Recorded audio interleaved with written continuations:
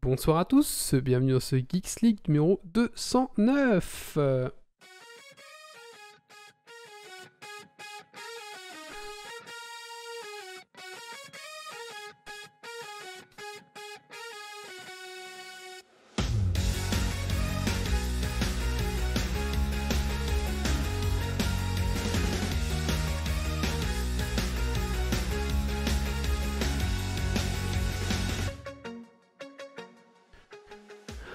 Bonsoir à tous et bonsoir à toutes, bienvenue dans ce Geeks League numéro 209 de la saison 10, enregistré ce vendredi 4 décembre 2020, à deux jours de la Saint-Nicolas. Que vous ayez été sage ou non, que vous ayez appris vos leçons, peu importe, ce soir, les polissons, dans votre podcast Geek, nous avons les news tech euh, de la semaine. Euh, nous avons un invité ce soir et c'est Erwick, donc on va parler essentiellement de jeux de rôle. Ensuite, euh, on va parler de jeux de société, comment et à quoi jouer à Noël. Euh, ensuite, on va parler de jeux vidéo avec Phasmaphobia et encore de jeux vidéo avec euh, Shadowland. Et bien sûr, pour finir ce podcast en beauté, le triptyque de Yves. ouais, enfin un qui sera conclu. on va notamment parler, dans, dans lesquels on va parler d'espace. Et bien sûr, les coups de cœur, coups de gueule qui vont intervenir dans ce podcast également. Voilà, alors installe-toi confortablement dans ton fauteuil de train, de voiture et monte le son.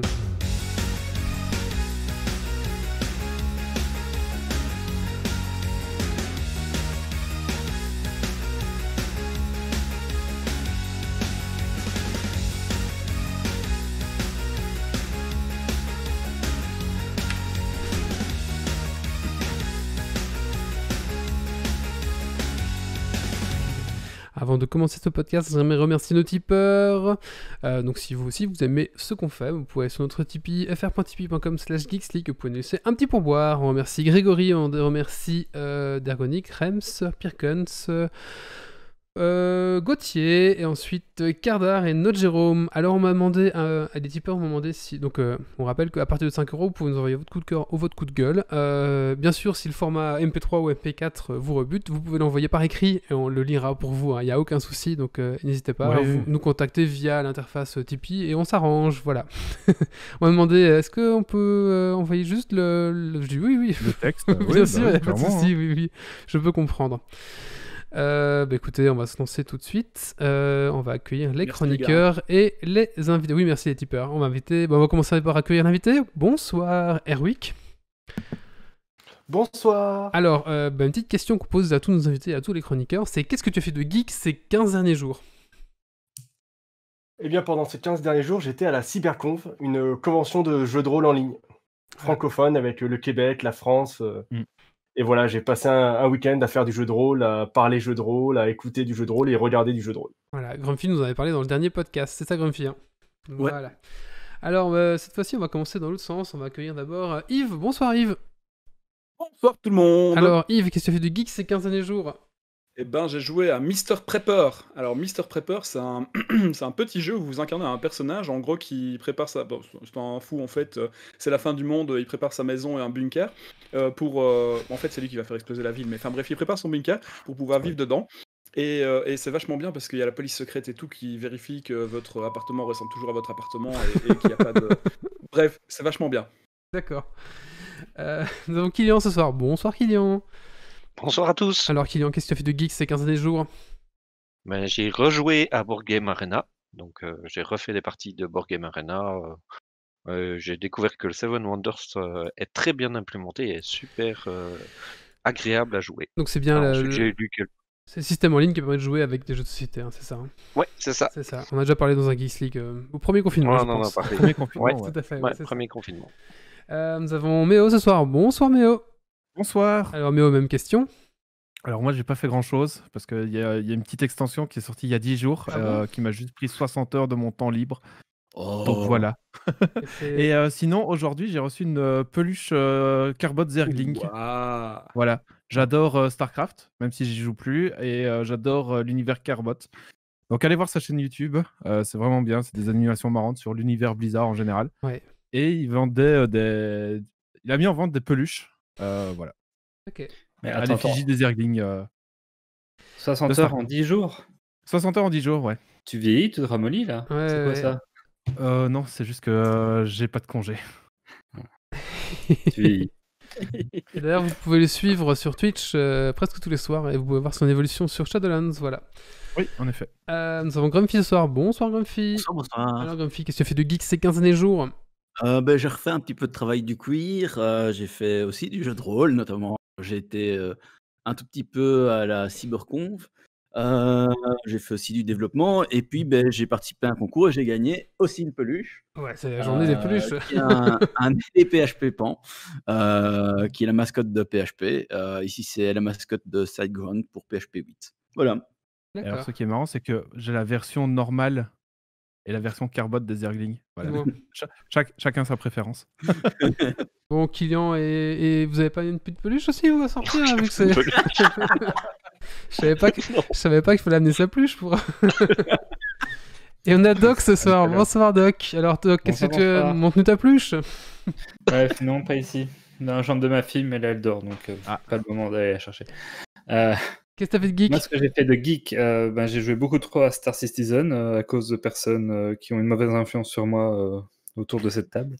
Et, mais surtout, le plus important, j'ai enfin sorti les deux premières vidéos sur comment jouer à Warhammer Oui. 40 000 sur Tabletop Simulator pour tout ce qu'il faut savoir avec des tutos très détaillés pour pouvoir vous en sortir et faire ça très bien. Et euh, c'est un triptyque, euh, mais la troisième viendra d'ici un petit mois, à mon avis, et est moins indispensable pour démarrer. Voilà. Donc euh, bah n'hésitez pas à Donc, aller... sur YouTube.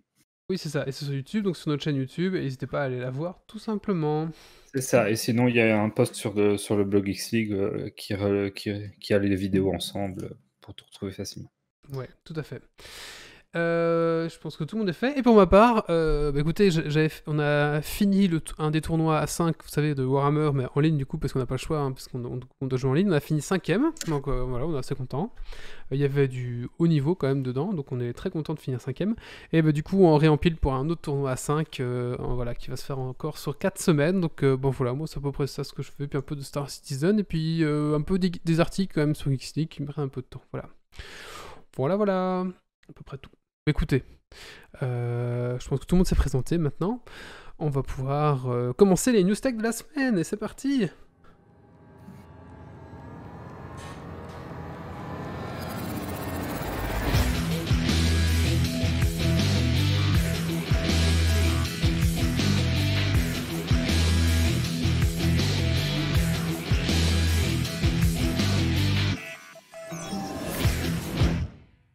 Arrêtez d'acheter des PS5.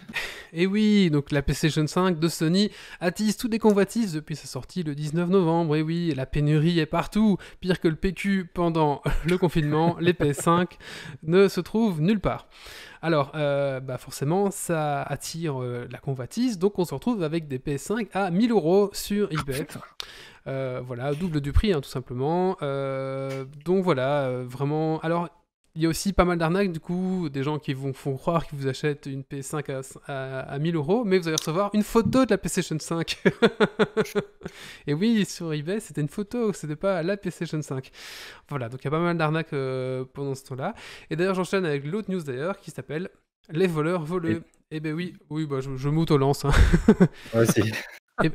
Et oui, parce qu'en fait, faut savoir que des mecs euh, sont montés un petit business euh, chez eux, donc ils se sont achetés un gros stock de PlayStation 5, et du coup ils les revendent à 800 000 euros, et du coup ils les revendent où? Sur Facebook notamment aussi. Du coup il y a des mecs qui se sont fait un peu... euh, euh, je sais plus comment on Bah, appelle le mot. Non, non, mais non, il y a des mecs qui se sont fait. euh, bah, forcément, euh, les gens sont pas contents que, enfin, toi, que ce mec-là vende à 1000 euros.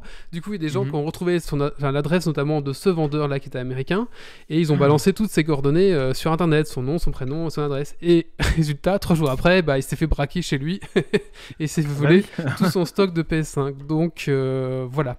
Donc euh, bah, je sais pas moi, jouer à la Xbox, je sais pas. Ap- après, euh, les gens...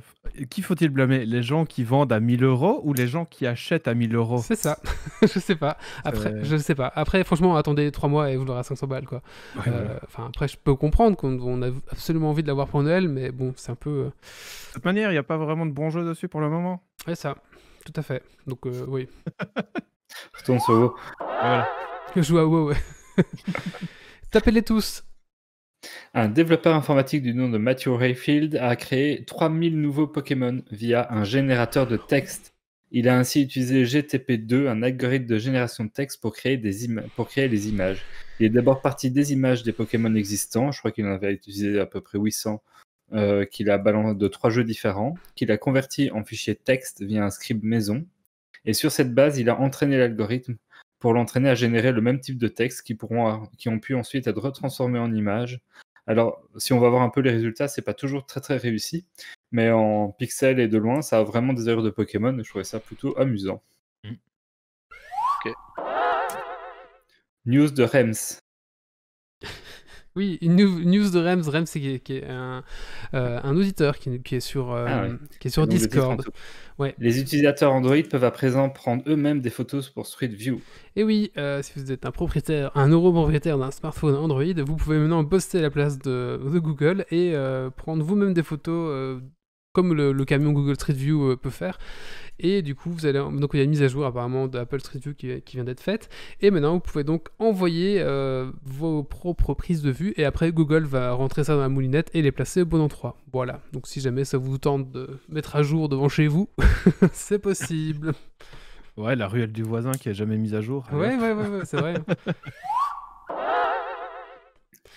Netflix et maths. Vous n'êtes sans doute pas passé à côté du succès du euh, Le jeu de la dame, la série Netflix racontant l'histoire d'une talentueuse joueuse d'échecs. D'ailleurs, on vous en a parlé dans un précédent podcast. Eh bien, la série a créé une chouette émulation autour de- du jeu d'échecs qui était quand même relativement en perte de vitesse depuis quelques temps, puisque notamment chess.com, qui est un site de référence pour jouer aux échecs en ligne, enregistre 5 fois plus de fréquentation qu'avant par jour, ce qui est euh, une belle augmentation. Mm. Un beau retour en grâce des échecs qui profitent ainsi d'une publicité et d'un engouement inespéré. D'accord. Et d'ailleurs, si le jeu d'échecs vous ennuie un peu, il y a le- les échecs 2.0 qui sont vraiment très sympas parce qu'il y a quatre types d'armées en fait à jouer. Et c'est assez sympa. Non, mais quatre types de, de- de- de clans, on va dire, je sais pas, d'armées, on va dire. Et du coup, euh, chaque armée a un peu sa spécificité et du coup, ça relance un peu la. Si vous êtes fan d'échecs, je vous le conseille. Bah, après, ce C'est parce qui... que c'est des figurines, c'est plus un damier, donc Wally, ça lui parle tout de suite plus, c'est devenu un Non, c'est game. toujours les, les mêmes pièces, sauf que en fonction de, de telle ou telle armée vous jouez, les pièces réagissent différemment, on va dire. Après, ce qui est, peut-être intéressant, c'est que ça va peut-être faire revenir les, les jeux abstraits, puisque c'est la partie des jeux abstraits, euh, dans, à l'avant de la scène. Et donc peut-être que bah, des jeux comme Kumo Gosha, dont on avait reçu des auteurs il y a plus longtemps euh, dans Geeks League, euh, ou des jeux de Go, ou d'autres choses qui euh, bah, sont toujours un peu bah, niveau, entre guillemets, dans, dans la populace, peut-être revenir au devant de la scène. Ça peut peut-être être très intéressant comme, comme aspect. Quoi. Mhm. Hmm. Ouais, un excellent jeu dans ce style-là, c'est Camisado. Et donc, un, un jeu que je conseille fortement. Voilà. Et Euh, si... Donc, euh, mais euh, c'est vrai que moi, j'ai vu sur les, les sites de vente de jeux, de sociétés, etc., pas mal de jeux d'échecs débarqués euh, suite aux séries de la- au succès de la série Netflix. il y a un- Et manifestement, les ventes sur eBay et autres, euh, enfin, les recherches autour d'achat de jeux d'échecs a explosé aussi. Ah, c'est marrant. Ouais. Il y, a, il y a aussi un petit jeu qui s'appelle Tempête sur l'échiquier. En fait, euh, vous jouez ça en plus de jouer euh, au jeu d'échecs classique. Et en fait, vous avez des cartes où vous pouvez faire des actions en plus dans le jeu. Et c'est assez fun. Et du coup, bon, par contre, si vous jouez contre un puriste du jeu d'échecs, il va mourir et il va s'exploser la tête. Mais pour faire Ouais. une partie fun, c'est assez fun quand même. Sinon, il y a les tableaux d'échecs à 3 aussi. Ah oui? Ça, je Histoire, histoire de bien se prendre la vrai que- tête. Coup, Oui, ou en trois dimensions. euh, Oui, voilà, c'est ça. Ah, je connaissais pas tout ça. Ouais, on pourrait faire un sujet hein, sur les jeux d'échecs, je pense. hein. Allez, news suivante. Doom sur la Nintendo Game Watch. Et oui, souvenez-vous, euh, dernier, à la fin du dernier podcast, donc euh, Doc vous a présenté son magnifique Game Watch qu'il a payé un rein pour jouer à Mario. Mais oubliez tout cela. Ah oui, il a devant lui. Oubliez tout cela. Et oui, le youtubeur Stax Machine s'est amusé à virer euh, Super Mario pour y loger euh, Doom. Doom Voilà. Le, le- le premier, j'imagine Euh, oui, oui, oui. oui. Oui, sans doute. Ah ouais, Voilà. d'accord. Et du coup, ben, avec ça, Wow. vous pourrez jouer à Doom. Je vous mets le lien vers sa chaîne YouTube si vous voulez voir un petit peu euh, ce que ça donne. Donc Voilà, En même temps, Nintendo a l'art aussi, quand ils fabriquent leurs machines, de laisser tout ouvert. Donc, euh, c'est- sont en général plus faciles à hacker que les autres machines. Voilà, c'est ça. Mais je trouve ça marrant que. Ah, pour l'instant, j'ai regardé un peu les homebrew sur, le- sur le Game Watch, sont pas si faciles à installer si on n'est pas un minimum connaisseur du truc, mais j'imagine qu'encore quelques mois, il y aura des, des installs faciles à faire euh, pour, euh, pour les types nuls comme moi. Bah, c'est comme la, la, la mini NES et tout ça. Il me semble qu'il y avait aussi pas mal de, de, de trucs hein, pour euh, mettre un peu ce qu'on veut dessus. Notamment, la chose, la mini PlayStation. Je sais plus ce qu'il y a. Oui, c'est ça. La mini NES, on voit même des jeux de PlayStation dessus, un truc comme ça, ouais. Vu le format, si tu peux commencer à mettre toutes tes jeux NES et Game Boy là-dessus, ça peut être une très chouette mini console. euh, Oui, du coup, là, Ouais. oui. Là, oui. Du coup, oui. Enfin. Allez. Bah, écoutez, à, à tes souhaits, euh, mon petit Méo. Désolé. Euh, je vous propose qu'on passe à la rubrique de l'invité. Alors, c'est parti.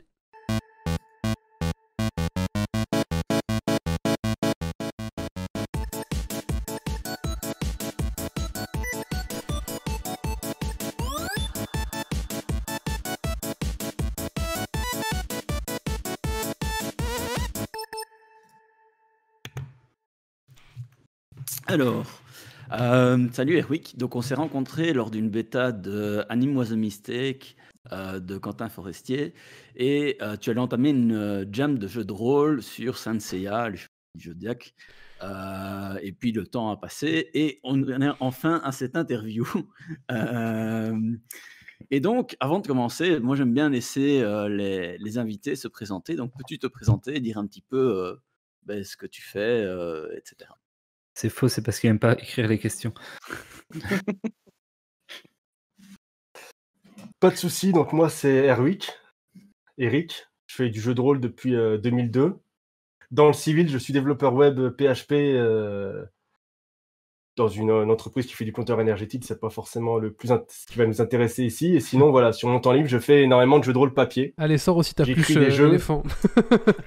non, moi j'ai- pas de PHP fort, moi. Ah, Moi, je fais pas de concours parce que je suis pas bon. et du coup, voilà, sur mon temps libre, je fais du jeu de rôle papier principalement, que ce soit des jeux que j'écris, des jeux auxquels je joue, je fais jouer, ou j'anime. euh, j'anime également une chaîne YouTube, des groupes sur Facebook. Bref, euh, c'est un peu ma passion euh, première euh, sur mes temps libres, quoi, le jeu de rôle. Mhm. Ok. Euh, donc je disais, bah, tu organises des jams, tu écris des jeux de rôle, euh, tu participes à des bêtas, tu mis tes chroniqueurs dans les chroniques d'Altaride, tu fais beaucoup de choses, tu as le podcast, tu as du YouTube. Euh, on va bah, commencer euh, simplement par le jeu de rôle euh, que tu as écrit, enfin les jeux de rôle que tu as écrit plutôt. J'en ai cité quelques, je vais en citer quelques-uns, mais probablement que je vais en louper parce que c'est ceux que j'ai trouvés en, faisant quelques recherches. Donc il y a Super Six, Heroes Academy, Mega Six et Toile, qui est le, tout dernier dont on, on va parler un peu plus après. J'ai vu que sur ta page, ta page euh, Itch.io, il y en avait en- encore euh, d'autres. Et j'ai vu aussi que tu faisais euh, des add-ons dont on aurait pu citer dans le Geeks League 56 ou 205, puisqu'il y a le Caca Monster qui ben voilà, m'a fait bien rire quand je l'ai vu. Tu écris beaucoup de choses. Est-ce que d'où ça vient? Est-ce que c'est facile à écrire? Pourquoi une telle production? Parce que ben, voilà, sur Itch.io, on voit qu'il y a quand même pas mal d'autres choses aussi qui, qui sont autour. Est-ce que tu peux un petit peu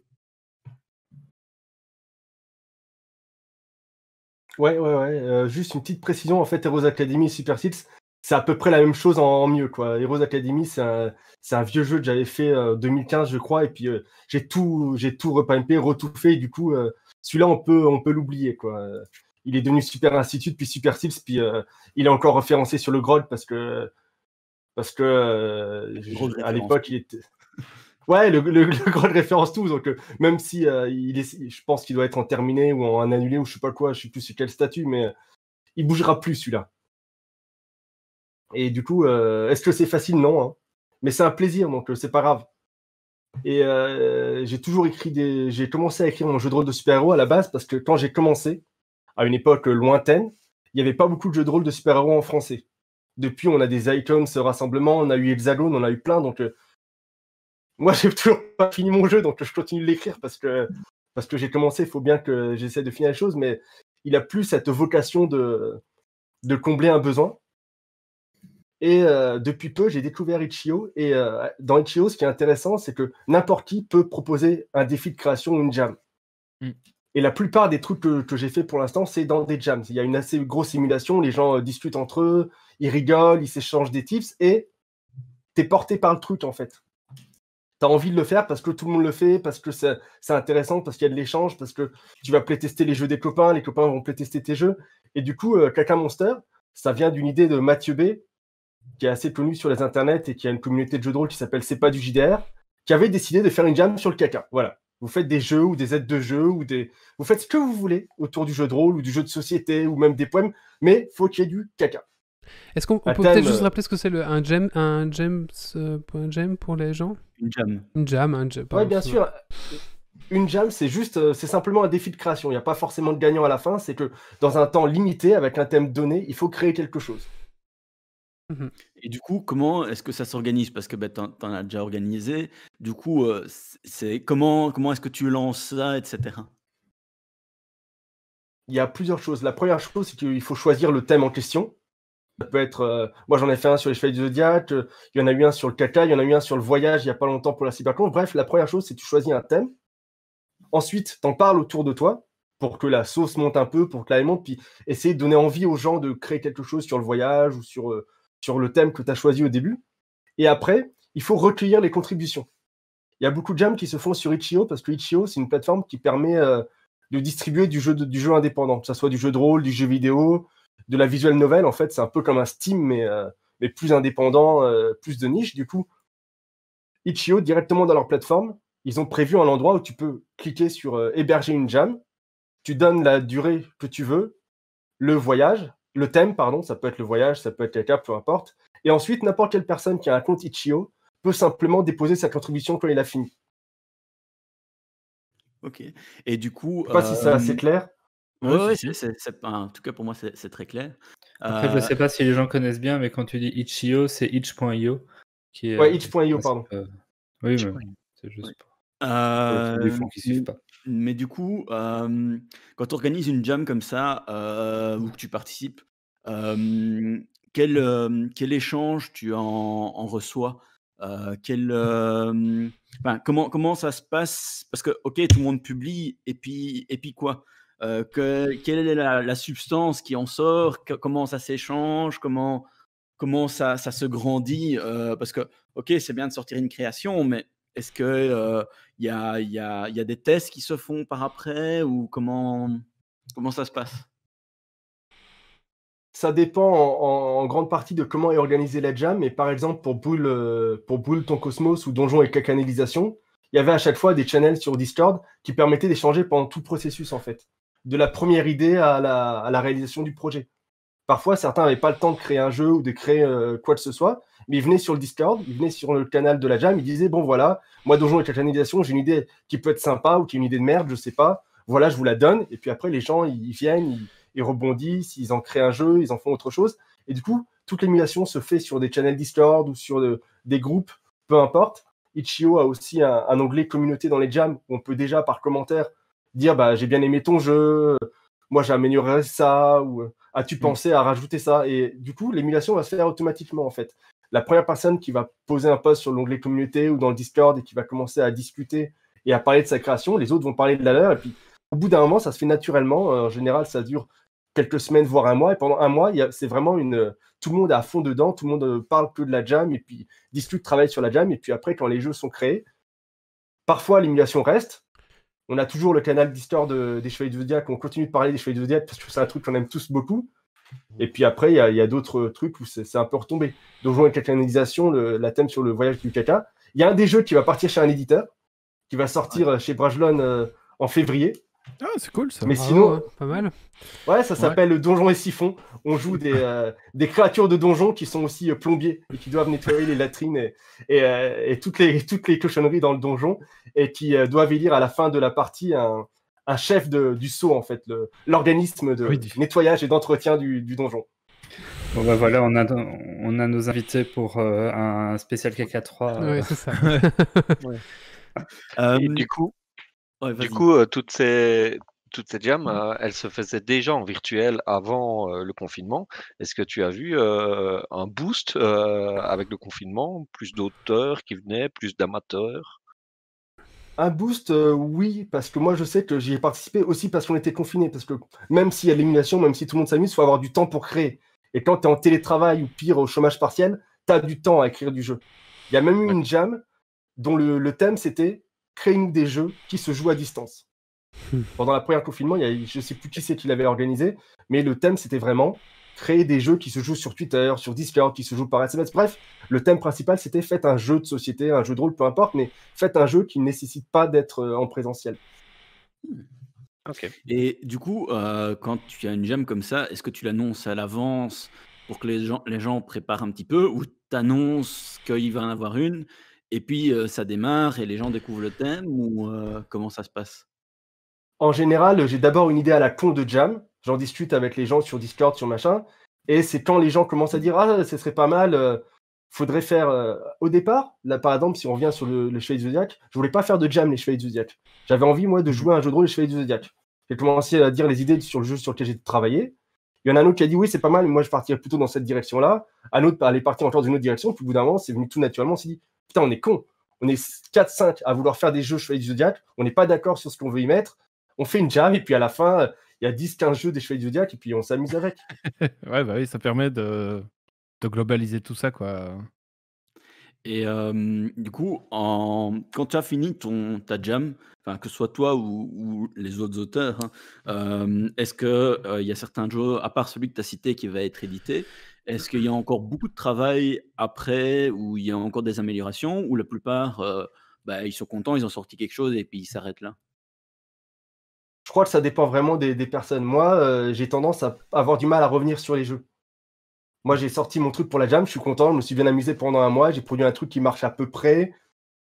Il a été testé ou pas d'ailleurs, hein, les jams, euh, si vous allez sur mon Itch.io, tout ce qui vient de jam, euh, il n'y a absolument aucune garantie, aucun service après-vente derrière. ça peut totalement se casser la gueule à la première partie. Autant Étoile ou Super Seed, s'ils sont testés, euh, je peux à peu près dire euh, ça va marcher, euh, rassurez-vous, prenez-le. Autant les autres trucs qui viennent de, jam dans, dans tous les sens, il n'y a absolument aucune garantie. Et à l'inverse, tu as des auteurs qui retravaillent leur jeu. Julien Mhm. Poire, qui est un auteur de jeux de rôle français indépendant, lui, le premier jeu qu'il a sorti, De Mauvais Rêves, c'était un truc qu'il avait fait pour le Game Chef, un concours de création de jeux de rôle, et qu'il a complètement changé et amélioré pour l'éditer. Mais tout le monde n'a pas forcément ni l'énergie ni l'envie de, de faire des vrais jeux, des jeux de jam, parce que un jam, c'est soit deux semaines, soit un mois. Tu peux très difficilement faire un jeu complet et qui fonctionne lors d'une jam. Mm. Sauf si, comme moi, tu triches. Parce que pour le jeu, à l'avance. euh, bah, en, en fait, ce qui s'est passé, c'est que euh, pour la cyberconv, le thème était le voyage, et moi, ça faisait depuis un moment que je préparais mon jeu de rôle Stargate où tu voyages à travers une, une porte des étoiles. Donc, euh, quand j'ai vu le thème de la jam, bah, j'ai gli- j'ai j'ai pris mon petit jeu de rôle Stargate qui était presque prêt, qui était déjà plus ou moins fini, un peu testé. J'ai fait hop dans la jam. C'est pas de la triche parce que c'est c'est- c'est- c'est toléré. hein, À part, euh, à part des, des jams très précises où c'est euh, le thème, c'est votre premier jeu ou votre première création et les gens ils, ils expliquent bien dans le l'énoncé de la jam qu'ils veulent une création inédite. Mm. La plupart du temps, le fait d'utiliser un jeu qui a déjà été préparé en amont, c'est pas très grave. Il y a même une jam qui s'appelle la Missed Jam, qui est là pour les gens qui n'arrivent pas à finir leur jam. Genre, le thème de cette jam, c'est vous avez fait des jams, votre jeu, vous n'avez pas réussi à le finir à temps pour la jam, bah c'est bon, faites-le maintenant, on vous donne un mois supplémentaire et euh, vous pouvez essayer de finaliser vos, vos trucs. Euh, du coup, tu as parlé de, de ton jeu basé sur euh, Stargate qui s'appelle Étoile. Euh, vu que c'est ta dernière sortie, est-ce que tu peux peut-être euh, nous en parler un peu plus euh, Pourquoi avoir fait euh, ce jeu de rôle-là? Et quel est son intérêt par rapport à d'autres jeux de rôle sur Stargate qui sont déjà sortis ou qui vont sortir? En fait, euh, j'ai fait, euh, fait ce jeu de rôle-là parce que je suis un têtu, bouché, buté, et que quand j'ai vu l'annonce du jeu de rôle officiel, j'ai fait Ouais, un jeu de rôle officiel Stargate et tout qui va sortir en anglais. Prenez ma carte bleue, prenez mon argent. Je suis fan de Stargate, je suis fan de jeux de rôle. Puis j'ai vu, j'ai vu que c'était motorisé par Donjons et Dragons 5e édition, qu'il y aurait des classes, qu'il y aurait des niveaux, et j'ai fait Non, en fait, euh, je vais quand même vous donner un petit peu d'argent pour la version PDF toute simple, pas chère, mais Mais pas j'irai pas plus loin. Mm. Et du coup, ouais, ça a été un peu une douche froide parce que Donjons et Dragons 5e édition, c'est le jeu le plus joué, le jeu le plus vendu. Du coup, je comprends que les, les éditeurs en place veuillent euh, faire du L Donjons et Dragons 5, veuillent faire du Stargate Donjons et Dragons 5. Les deux dernières sorties avec des grosses licences, c'était du Donjons et Dragons 5, Hellboy et, et Stargate. Mais Mm. je trouve que on s'éloigne un peu de l'esprit de la série parce que je vois pas euh, quelle serait la classe de Samantha Carter ou de Daniel Jackson. C'est tous les deux des scientifiques, mais il n'y a pas. Enfin, j'ai du mal en fait pour avoir pratiqué un peu le jeu de rôle, à me dire comment est-ce que ça peut être euh, bien adapté à, la série que- dont je suis fan, de faire du Donjon et Dragon avec. Donc euh, ce jeu-là, c'est vraiment en réaction à, cette annonce. Je me suis dit non, il faut que je trouve autre chose. J'ai regardé Stargate Coalition, qui, était, qui est un jeu de rôle amateur le mieux référencé sur Google. Quand tu tapes jeu de rôle Stargate, tu arrives sur lui. Pareil, des règles compliquées. J'arrivais pas à m'y retrouver, donc je me suis dit bon bah tant pis, je vais faire le mien. Et euh, du coup, par rapport euh, aux autres, est-ce que euh, quelles sont les, les races de personnages que tu peux incarner Est-ce que tu peux démarrer de n'importe où dans l'univers ou c'est à un endroit particulier de l'univers C'est basé sur SG1 ou, ou tu peux incarner un Tok'ra Comment ça se passe? Bah, Déjà, c'est très librement inspiré de Stargate SG1 pour être sûr que jamais euh, des endroits viendront m'embêter parce que je le dépose gratuitement sur Itch.io. J'ai gommé tout Stargate en fait. Il y a bien une porte des étoiles, mais elle n'a pas tout à fait la même gueule. C'est pas des Doaoud, c'est les faux dieux. Je donne, des, je donne des conseils pour créer ta propre race de faux dieux, entre guillemets. Moi, je, moi les premiers playtests que j'ai fait, c'était des Olympiens, donc c'est un peu le même système que le Goa'uld, sauf que ce sont des dieux grecs et pas égyptiens. Et ensuite, euh, j'ai fait des règles, en fait, un système de résolution, des mécaniques de jeu pour ce jeu qui sont suffisamment minimalistes pour que tu puisses faire tout sans que ça change en fait. Mhm. Genre ton personnage, il est, il est, décrit par trois descripteurs, c'est des trucs qui vont le décrire euh, positivement. Si tu veux jouer un Tok'ra, bah, tu as juste à dire qu'un de ces descripteurs c'est un Tok'ra. Et du coup, euh, quand tu joueras, tu seras avantagé parce que tu as un Tok'ra ou tu mets Jaffa. Ou... En fait, c'est suffisamment, si tu veux, minimaliste et vague pour que tu puisses jouer euh, n'importe quelle race de l'univers existant tu choisis juste un descripteur, puis tu auras un avantage euh, contre les maladies parce que tu as un Tok'ra, tu seras plus costaud parce que tu as un Jaffa. Bref, tout est déjà prévu en fait, sans forcément mettre de nom dessus. Mmh j'ai vu qu'il faisait partie du Cyber Bundle qui, avait, euh, qui était en vente à la, à la Cyber Convention. Donc le Cyber Bundle, pour ceux qui euh, n'ont pas suivi, c'était un bundle solidaire en fait qui était vendu durant la Cyber Convention pour euh, parmi trois associations, si je me rappelle bien. Euh, on avait plus de 130 jeux, je crois que c'était 135 ou 136 jeux. Ouais, c'était un paquet énorme.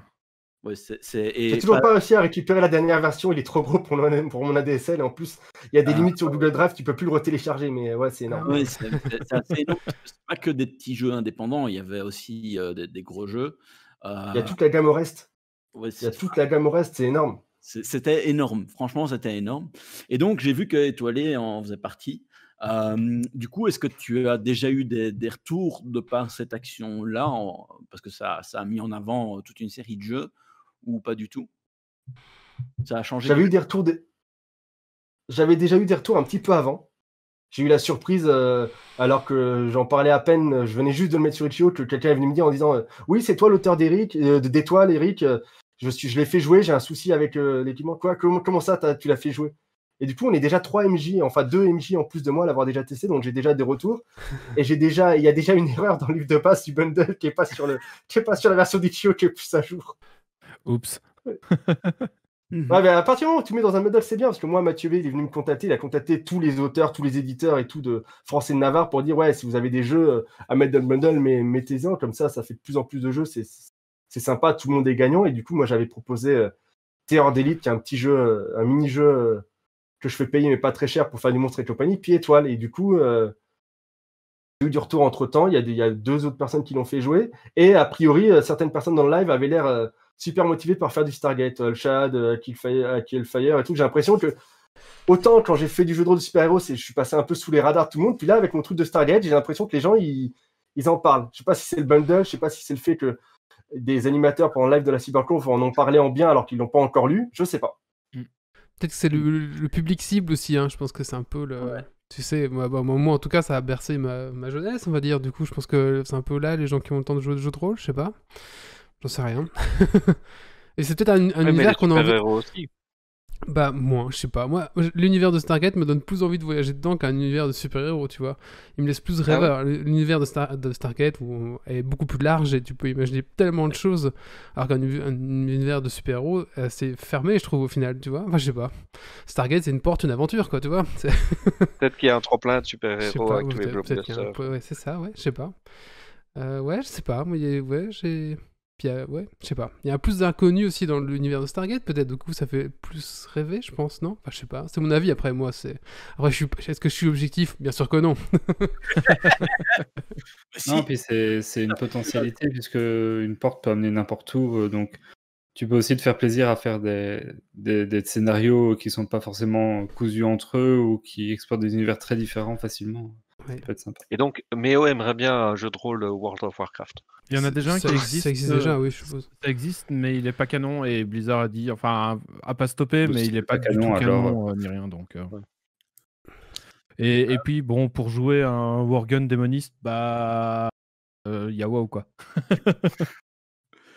euh, T'aurais pas envie de le jouer de manière un peu plus libre que dans le jeu vidéo Ton Wargame démoniste? Je sais pas. Peut-être, oui. Question.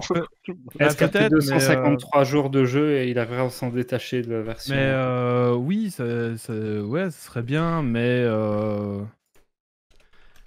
Mais, Mais- enfin bref, ouais, mais- faut, faut voir. Mais, mais- ça, en soi, un, un WoW euh, en jeu de rôle autour de la table m'attire moins qu'en en, en jeu vidéo. Mais- Alors que j'adore le jeu de rôle, hein, mais... Mais Méo, il fait déjà du RP dans l'auberge de Darkshire. euh. c'est ça, le RPQ dans WoW. C'est dans Ouais. quelle auberge? Ah, C'est ça, à Darkshire que ça à se faisait à Goldshire, ouais, À c'est Goldshire, ouais. Goldshire. C'est la première auberge qu'on rencontre euh, quand on fait un humain. Et euh, bon, ouais, ouais, voilà. Mais c'est une Sur rumeur. Moi, certains j'ai jamais vu ça. Moi, j'ai jamais vu ce genre de choses. Ouais, Moi non plus, mais j'ai pas joué assez à WoW, je pense. Alors, j'ai- moi, j'ai commencé sur WoW sur un serveur RP et c'est vrai que les gens faisaient du RP dans les auberges. C'était des gens qui discutaient et tout. C'était rigolo. Mais j'ai Mhm. jamais vu de, de, de, de, de ce genre de choses comme ça, par contre. Non, mais c'est une légende urbaine. Hein. c'est les gens d'Irmen, je crois aussi. hein, ouais. Euh, du coup, pour revenir à, à, euh, Étoile, euh, est-ce que tu as déjà une nombre de, de downloads ou d'achats euh, qu'il y a déjà eu euh, sur euh, Étoile et, et éventuellement sur tes autres jeux de rôle Tu as une idée un petit peu de, du nombre de personnes qui, euh, qui, qui téléchargent, que ce soit sur Itch.io ou, ou qui ont acheté ceux que tu vends? Ouais. J'ai ça. Juste deux secondes. Si tu veux, on me pense. Tout est sur. Ouais, je veux bien que vous meubler un peu parce qu'il faut que je retrouve les, analyses dans, On, on- dans Itch.io. Quoique, non, c'est rapide. euh, Allez hop, c'est bon. J'ai celle d'étoile déjà. C'est le plus intéressant, c'est le dernier. T'aurais pu l'appeler Il y a eu Chapaille. 302 downloads. Il y a Ah, eu c'est 302 downloads d'étoiles. Et, et il est sorti quand? Il est sorti. Une belle question, il est en français ou en anglais Tu l'écris? Il est en français, il est en français. J'écris qu'en français pour l'instant, j'ai pas le niveau de. Un jour, il faudrait que je les fasse traduire par ma chérie qui enseigne l'anglais, mais euh, moi, j'ai clairement pas le niveau pour. euh, La beauve qui doit traduire pour, Stargate. euh, bah, elle l'a déjà relu pour les, pour les fautes, donc euh, d'accord, d'accord. elle, co- elle connaît bien. Ah ouais. 302 Du coup, déjà, donc c'est pas Ouais, le- Ouais, c'est pas mal. hein, ouais. Mais moi, si Ouais, sachant qu'on compte pas les, les gens qui ont, le- qui ont pris le bundle. Quoi. Ouais, ouais, c'est ça. Mais euh, ouais, ouais, moi, ça, c'est un- c'est un- par exemple, vraiment un jeu de rôle que j'aimerais tester, quoi. Si un jour j'ai un peu de temps, euh, avec un MJ qui maîtrise, euh, ouais, ça, ça, me, ça me plairait beaucoup, J'arrive pas à trouver l'info, mais je crois que je l'avais sorti le 22 novembre. Ah ouais. Donc c'est tout, tout récent, quoi. Mhm. Ouais, c'est pas mal. Ouais, ouais, et euh, il y a euh, un avis. c'est quoi Quelqu'un qui a mis, quelqu'un qui a mis 5 étoiles. ouais. Ah, c'est quelqu'un que je ne connais pas, c'est ni ma chérie ni un ami. Euh, du il coup, est dans 5 collections et euh, il y a 4 personnes qui ont payé pour ce jeu alors qu'il est gratuit. ça, c'est cool, franchement. Cool, ça, ouais. Bah, ça Euh, fait toujours plaisir. Ah oui, c'est- c'est clair. Et du coup, vu que tu parles de ta chérie, au niveau euh, organisation, parce que vu que tu es très productif, euh, comment est-ce que tu arrives à balancer ta vie, toutes tes, créations, ce que, tu produis, etc., et ton boulot et tout le reste Comment tu arrives à trouver un équilibre parmi tout ça?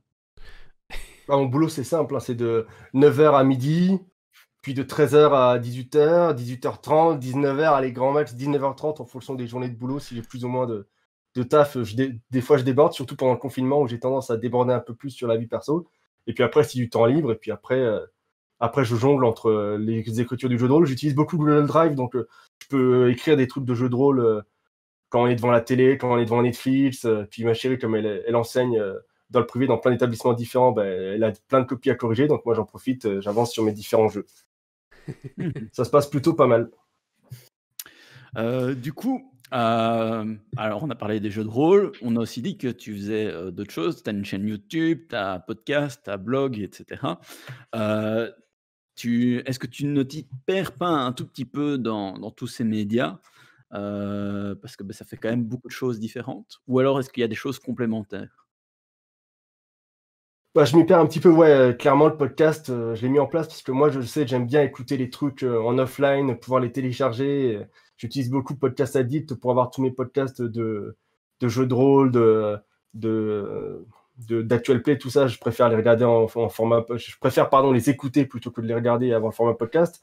Mais comme techniquement, à la base, je tourne une vidéo pour YouTube, après, je dois faire l'effort de, de la, la ripper en MP3 et puis de la mettre sur le podcast et euh, je dois être à, à je sais pas combien d'é- d'épisodes de, de retard sur le podcast. Il est un petit peu, euh, il est un petit peu à la ramasse, le pauvre. Et, euh, Et en plus de ça, je peux pas toujours le faire parce que les derniers épisodes que j'ai fait en vidéo, comme un idiot, j'ai montré des images ou euh, j'ai fait des, Ah, c'est le j'ai piège. fait ça. des trucs qui, qui je m'en rends pas compte quand je tourne ma vidéo. Puis euh, au moment de, de, de, de- de dire bon, là j'ai un peu de temps, je vais prendre toutes mes vidéos YouTube, je vais les transformer en MP3 et je vais les, les mettre sur mon podcast. Et là, tu vois que ah, un peu trop d'images, un peu trop, c'est pas très radiophonique, donc euh, Ouais, ça, c'est pourrais retailler dans le gras et tout, refaire la vidéo propre, mais euh, la plupart du temps, j'ai pas l'énergie et je dis bon, la, la prochaine. Prend du temps. Et euh, du coup, euh, est-ce que, je ne sais pas si sous la main, tu as, un petit peu de stats sur, euh, je ne sais pas moi, le nombre d'écoutes ou de visionnages de tes vidéos, euh, le nombre d'abonnés, euh, ce genre de choses? Ouais, ouais, sur la chaîne YouTube, j'ai euh, 1,13 ab- 1000 abonnés, 1,13K abonnés. Et euh, voyons, où est-ce qu'on va? J'avais trouvé tout à l'heure. On a partagé hein, la chaîne YouTube sur, le, sur la Mhm. ch- chatroom si vous voulez. C'est quoi le nom en fait? Jeu de rôle pour les nuls. C'est une chaîne où j'essaye de, de démocratiser un peu le loisir du jeu de rôle en donnant quelques tips ou des coups de projecteur sur des, sur des jeux un peu plus simples ou machin. Euh, Mon but à la base, c'était que parfois le jeu de rôle, ça demande du temps, ça demande de l'énergie, il faut apprendre comment faire, il faut lire euh, des bouquins de 300 pages. Et du coup, mon objectif à la base, c'était de d'essayer de présenter les choses le, le plus simplement possible pour Mais que les gens qui ça. découvriraient le, le jeu de rôle sur table soient pas complètement perdus et que ça les, ça les aide ou au moins que ça les rassure un peu. quoi. Bah, c'est super parce qu'en fait, euh, généralement, c'est des les chaînes sur le jeu de rôle, c'est pas forcément l'optique, c'est plutôt critiquer un jeu de rôle ou Ou c'est- présenter. c'est- euh, ou présenter ou voilà. C'est bien. Et le podcast, euh, c'est C'est la même chose, non? euh, tu prends la même optique pour le le podcast ou?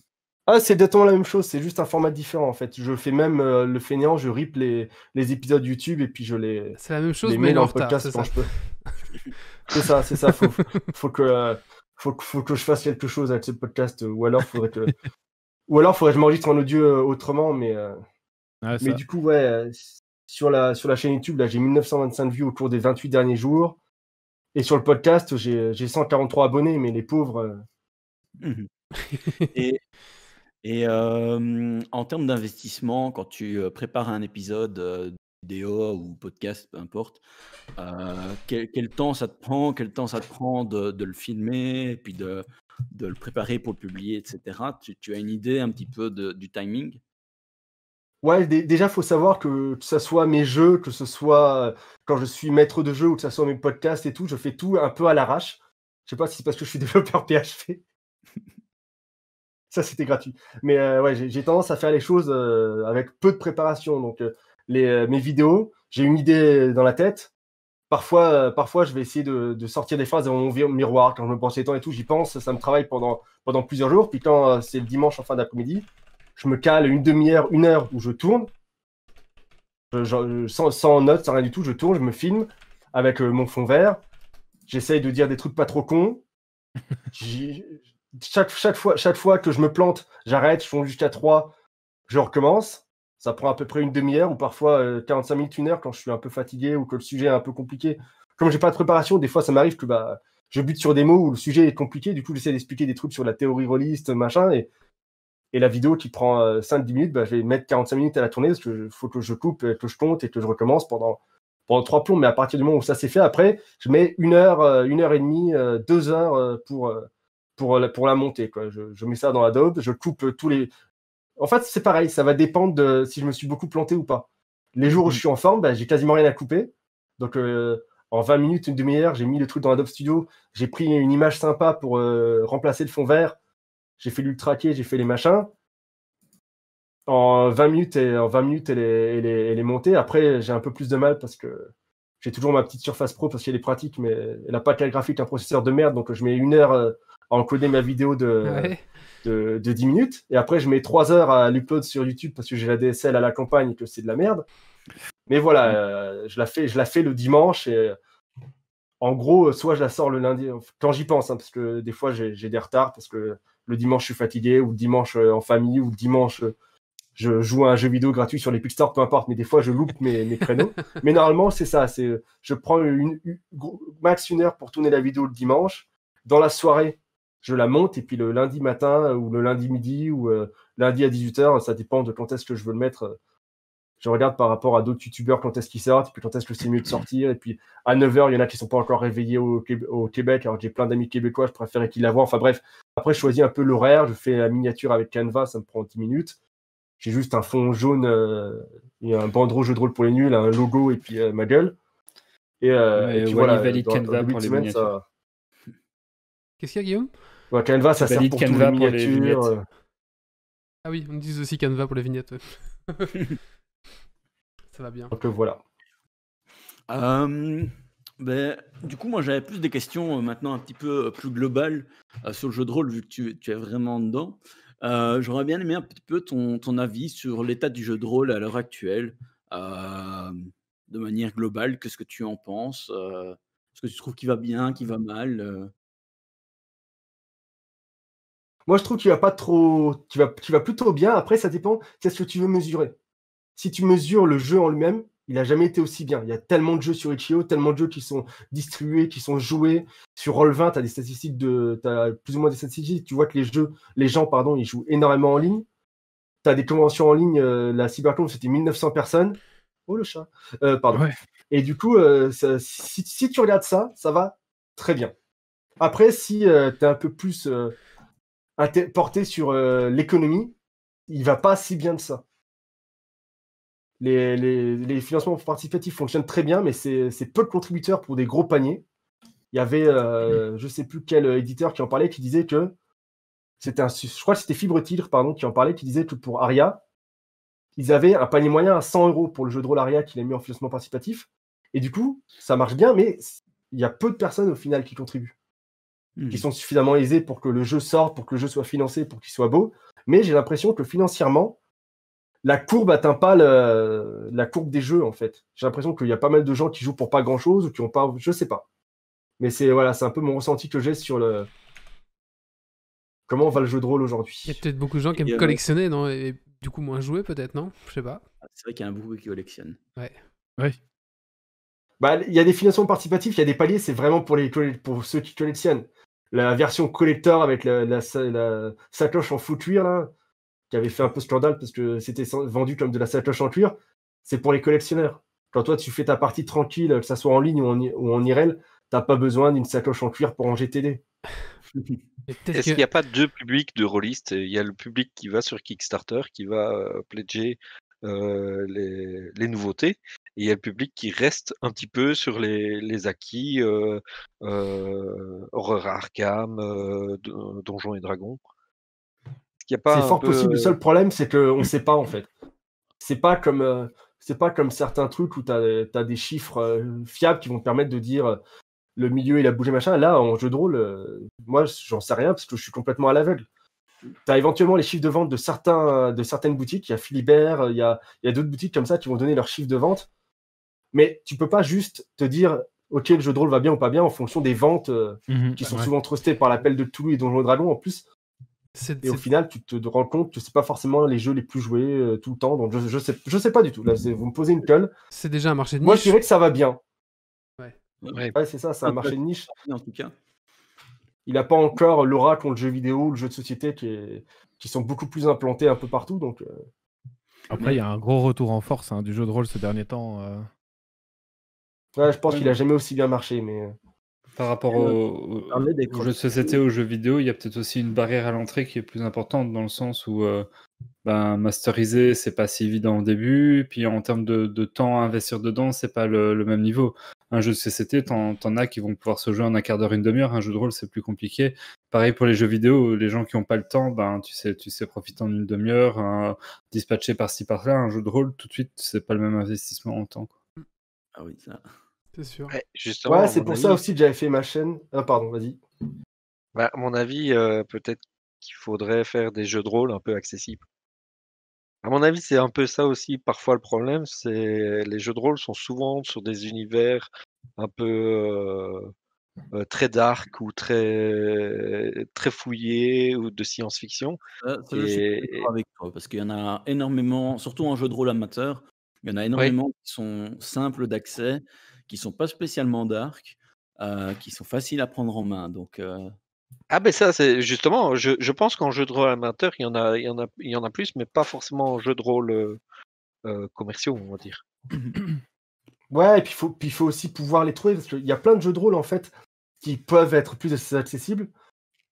Le doc disait que euh, il- on peut faire un jeu de société en un quart d'heure, une demi-heure. Il y a aussi des jeux de rôle qu'on peut jouer en une demi-heure. J'ai testé Ouais. dans la cyberconf un jeu de rôle. Il y, a un, il y a un chronomètre, en fait. On joue pendant une demi-heure. À la Mhm. fin de la demi-heure de jeu, on sait, euh, on raconte la fin de l'histoire. Donc euh, ça peut se faire, c'est juste que c'est pas forcément les jeux de rôle qui sont les plus mis en avant.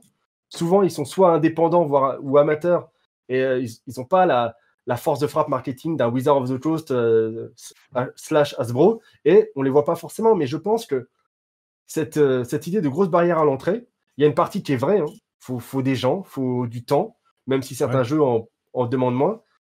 Je pense qu'il y a une partie qui est vraie, puis il y a aussi une partie qui est euh, liée à la méconnaissance du grand public du média jeu de rôle, du loisir jeu de rôle, en fait. Et c'est aussi pour ça que moi j'avais essayé de faire ma, chaîne. C'était pour dire, bah, peut-être que si jamais ils trouvent des vidéos qui leur disent, voilà comment je fais, voilà comment vous pouvez faire, j'ai fait un top de jeux qui n'ont pas besoin de préparation, en fait. C'est des jeux de rôle, mais t'as pas besoin d'apprendre à masteriser, t'as pas besoin d'apprendre les règles, tu prends ton jeu et euh, tu l'emmènes euh, un soir chez tes potes et tu lis les règles en même temps que tu joues, exactement comme un jeu de société. Du Mhm. coup, euh, je pense que c'est ce genre de truc qui pourrait aider. Un autre truc aussi que j'ai remarqué qui freine pas mal euh, la diffusion du jeu de rôle dans le grand public, c'est qu'aujourd'hui, c'est encore beaucoup un marché de geeks. C'est du médiéval fantasy, c'est du Seigneur des Anneaux, c'est du Stargate, c'est du Star Wars. Il y a peu de. Il n'y a pas encore euh, plus belle la vie. Quoique, je dis ça, mais il n'y a pas longtemps, ils ont sorti Colanta, le jeu de rôle. Ah. Il y a peut-être moyen qu'on que ça se divertisse un peu de ce côté-là, mais aujourd'hui, c'est beaucoup pour les geeks. C'est beaucoup pour ceux qui aiment la pop culture. dire un peu. Est-ce que, les Ouais. est-ce que le MJ fait Denis Brognard ou pas? Ah, Je sais pas, je l'ai pas lu Colanta le, le jeu de rôle, mais c'est euh, rigolo, c'est drôle en tout cas. Ouais. il paraît qu'il est pas mal.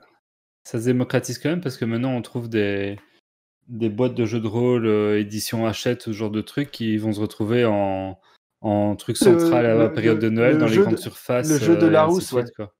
Ouais, Euh, ouais j'en ai un qui doit euh, traîner là. Mais si maintenant vous allez en grande Ouais, surface pareil, j'ai- période de Noël, vous, qui est là. vous, vous trouvez maintenant une ou deux boîtes de jeux de rôle et c'est quasiment tous les ans. euh, maintenant, elles commencent à apparaître. Donc ça, ça s'ouvre quand même tout doucement vers, euh, vers le grand public. Faut, c'est même plus obligé d'aller dans des magasins spécialisés pour en trouver. Bon, l'offre est euh, hors de ces magasins-là, l'offre est limitée, mais on commence à en trouver. Ouais, après, moi, j'ai gelé la version de Larousse, c'est encore du, c'est encore du, euh, du médiéval fantastique, c'est encore du très geek. C'est, euh, ils ont fait une version un peu euh, simpliste de Donjons et Dragons et de l'Appel de Cthulhu parce que c'est ça qu'on fait beaucoup en jeu de rôle et que je pense que ils partent du principe que s'ils veulent faire découvrir le jeu de rôle à des nouveaux, autant faire découvrir ce qu'ils vont jouer plus tard quand ils feront du Chronique Oubli, quand ils feront Mm. du Donjons et Dragons. Mais je pense qu'on reste dans ces univers-là. Mhm. En tout cas en France, parce que je sais plus qui c'est qui a, qui a sorti le jeu, la sorti. Passionnes de la Passionnette. Oui, pardon, vas-y. Non, je me demandais s'ils n'avaient pas sorti d'autres univers, mais c'est vrai que les premiers sont Donjons et Dra- plus typés Donjons et Dragons. Ouais, je sais pas. ont- Il n'y a pas déjà eu des pas trucs genre Harry autres. Potter ou quoi Ou j'ai peut-être rêvé? J'ai pas vu les autres pour l'instant, donc je ne parle que de celui-là que j'avais acheté euh, Leclerc, je crois. J'étais trop heureux de voir un truc en supermarché, du coup je l'avais acheté. Ouais, J'avais eu la même réaction. Ah, y Je a, m'en servirai probablement jamais parce que je suis pas le public, mais je suis a, content. il y a Kiliki qui partage le jeu de rôle Colanta qui sort. ah, ouais, ah, c'est bah, c'est toi, d'accord. qui partage euh, le, le, le livre jeu de rôle. Ouais. Ouais. ouais. Ouais, c'est sympa. Je, connaissais- je savais pas du tout qu'ils faisaient ça. Enfin, c'est drôle même. C'est tout très- récent. Ouais, c'est très drôle. Ouais, c'est tout récent. Et le truc chouette, c'est que ça a été annoncé par le compte de TF1. Ah ouais, d'accord. Ça, ça, ça a l'air pas, ça a l'air rien, ça a l'air de rien là comme ça, mais que le compte officiel TF1 parle de jeux de rôle, Mhm. Moi, devant mon tuteur, j'étais Vivement, j'étais le... comme un fou. quoi. J'étais, oh putain. Vivement le jeu de rôle, l'île de la tentation. Ah oui Ah, sinon, il y a romance érotique comme jeu de rôle. D'accord, je connais pas celui-là. Ah, c'est marrant, il y a doit y avoir plein de jeux de rôle un peu comme ça. hein. Ouais. De Un niche, romance érotique qui est vraiment très particulier. euh, c'est pas le genre de jeu que t'emmènes en club ou euh, avec tes amis, quoi. Bah, J'imagine. hein. Alors, j'ai un petit jeu de rôle à vous faire découvrir. Vous allez voir, c'est spécial. Est-ce que t'as encore d'autres questions, grande fille, ou je sais pas Euh, euh, oui, oui. Moi, j'avais encore euh, une autre question. Vas-y, je t'en prie. Euh, C'était, euh, je sais pas quel est ton avis par rapport euh, au jeu de rôle francophone euh, versus le jeu de rôle international. Parce qu'il y a beaucoup de pays où euh, ben, souvent ils restent dans soit des jeux de rôle en anglais, soit des jeux de rôle dans la langue d'origine dans laquelle ils ont été publiés et puis ils s'adaptent. Alors qu'en francophonie, spécialement en France, mais aussi en Belgique, on a plutôt tendance à choisir des jeux de rôle en français et chercher les traductions. Je ne sais pas si tu as un avis de pourquoi c'est comme ça ou est-ce que tu trouves ça bien, pas bien? Ouais, je trouve ça bien et pas bien. En fait, le truc, c'est que moi, déjà, il faut savoir que je préfère lire en français. L'anglais, je le lis. De toute façon, je suis informaticien, donc au bout d'un moment, si je savais pas lire l'anglais, je ne pourrais pas bosser. Ouais, difficilement. Toutes les docs, tous les machins sont en anglais, donc euh, j'ai pas le choix. Par contre, j'ai encore du mal aujourd'hui à réfléchir en anglais.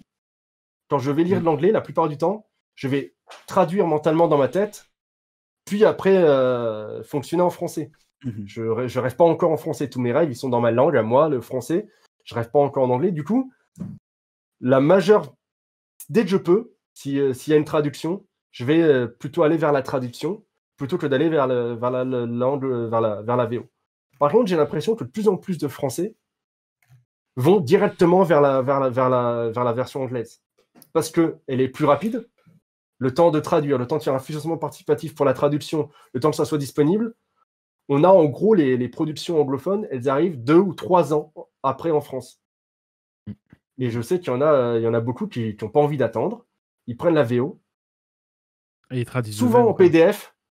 Ouais, et puis il y a plein de traductions maison de tous les, tous les, euh, les gros jeux indépendants ont des traductions maison avant qu'ils arrivent euh, traduits en, en France. Et euh, ils le prennent en PDF parce que malheureusement, par contre, les États-Unis, les frais de port, euh, ça pique. Et alors, une toute Et, dernière question, c'est qu'est-ce que tu as pas encore fait en rapport avec du jeu de rôle et que tu aimerais faire? Avant de répondre à cette dernière question, parce que je sais pas trop, puis comme ça, ça me permet de- d'avoir plus de temps pour réfléchir, je voulais dire un dernier truc sur l'histoire des jeux anglais et des jeux français.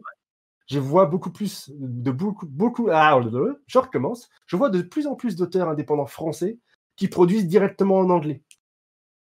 Eric Nudan, par exemple, sur la chaîne, euh, sur la scène euh, indépendante OSR, Old School Revival, qui sont des, une famille de jeux qui visent à jouer comme les toutes premières versions de Donjons et Dragons, plutôt que de sortir son jeu en français, il l'a sorti directement en anglais pour viser le marché américain parce que ça lui va lui permettre de rentrer dans ses frais parce que c'est un beaucoup plus gros marché. Du coup, de plus en plus, même les auteurs français écrivent en anglais quand ils en ont la capacité. Eric Nudan, il vit en Irlande, donc pour lui, c'est une formalité. Puis ensuite, il va traduire, euh, c'est pas encore sorti d'ailleurs, ça sortira que qu'après Noël, je pense. Il va sortir euh, une édition euh, française de son jeu. Et ça, c'est quelque chose que moi je trouve dommage parce que je suis français et Ouais. j'aime lire en français. Et quand je vois des auteurs que j'aime bien, dont je suis leur travail, annoncer qu'ils sortent une VA, ça, ça- ça- ça fait un peu mal à mon petit cœur. quoi. Il va falloir Non, attendre mais- encore des mois, euh, voire des. euh, En général, c'est moins long que l'édition française arrive parce que comme ils parlent français, ils vont souvent, c'est eux qui font leur propre VF. Mais euh, c'est chiant quand même. Ouais, mais c'est un vrai puriste, hein, Donjon Dragon. C'était en anglais à la base. Va pas commencer à sortir un truc en français. euh, on revient aux sources ou on ne revient pas aux sources. hein, là, pas faire les choses à moitié. Je sais pas si c'est par rapport aux sources, si c'est juste parce qu'effectivement, l'OSR en France, ça intéresse pas grand monde. Donc, euh, moi, je le comprends. Si j'écrivais si j'écrivais en anglais, euh, si je savais écrire en anglais, mon jeu de rôle de super-héros, j'aurais écrit directement en anglais. Parce que c'est là-bas qu'ils sont tous fans de comics. C'est là-bas. Il y a plein de trucs, en Ouais. fait, culturels. Déjà, c'est un plus gros marché. Puis en plus, culturellement, il y a plein de trucs qui passent beaucoup mieux chez eux. Je dois être le seul Ouais. fan francophone de catch, par exemple. Ou l'un des rares. Ouais, D'accord, mais typiquement pour du jeu de rôle, est-ce que, est que sur la scène un peu plus indé du jeu de rôle, en anglais, ils n'ont pas déjà masse jeu de rôle qui parle de comics et de ce genre d'univers-là? Ouais, c'est une très bonne question. De toute façon, je sais pas écrire en anglais, donc la question, elle est vite répondue. Mais ouais, je comprends en tout cas les auteurs français qui, font le choix d'écrire directement en anglais. Et un truc que j'ai pas encore fait en jeu de rôle et que j'aimerais bien faire.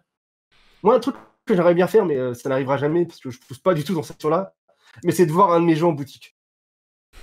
Genre, tu vas, tu vas à Trollune à Lyon, tu vas à Philibert à Strasbourg, peu importe, tu vas dans une boutique de jeux de rôle et à côté des, des donjons de dragons, des machins, t'as Étoile, t'as Super Site, peu importe, Ah, même, serait le- cool, même hein. mes jeux de jam euh, mal finis, tu vois ton jeu en boutique.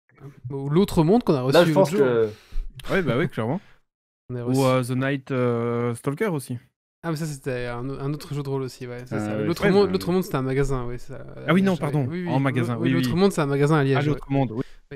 Oui. Non, mais, mais on joue à WoW en même temps, donc il suit pas trop la Ah. conversation. faut me pardonner. Mais moi, j'ai fini le tour. Je ne sais pas si d'autres ont, ont d'autres questions. Euh, C'était déjà un beau tour. C'était déjà un beau tour. ouais. Ma, ma, mon arrière-grand-mère était fan de catch aussi, si jamais ça intéresse les gens. peut-être juste rappeler euh, où te retrouver. Donc, il y a ta chaîne YouTube qui est le jeu de rôle pour les nuls. Il y a ton podcast qui est le jeu de rôle pour les nuls. Euh, ta page euh, itch.io, donc c'est r8-jdr.itch.io. Euh, il y a aussi ton blog, c'est jeu-ro, euh, jeu de, donc le chiffre, rôle.fr et ton Twitter qui est aussi jeu de rôle.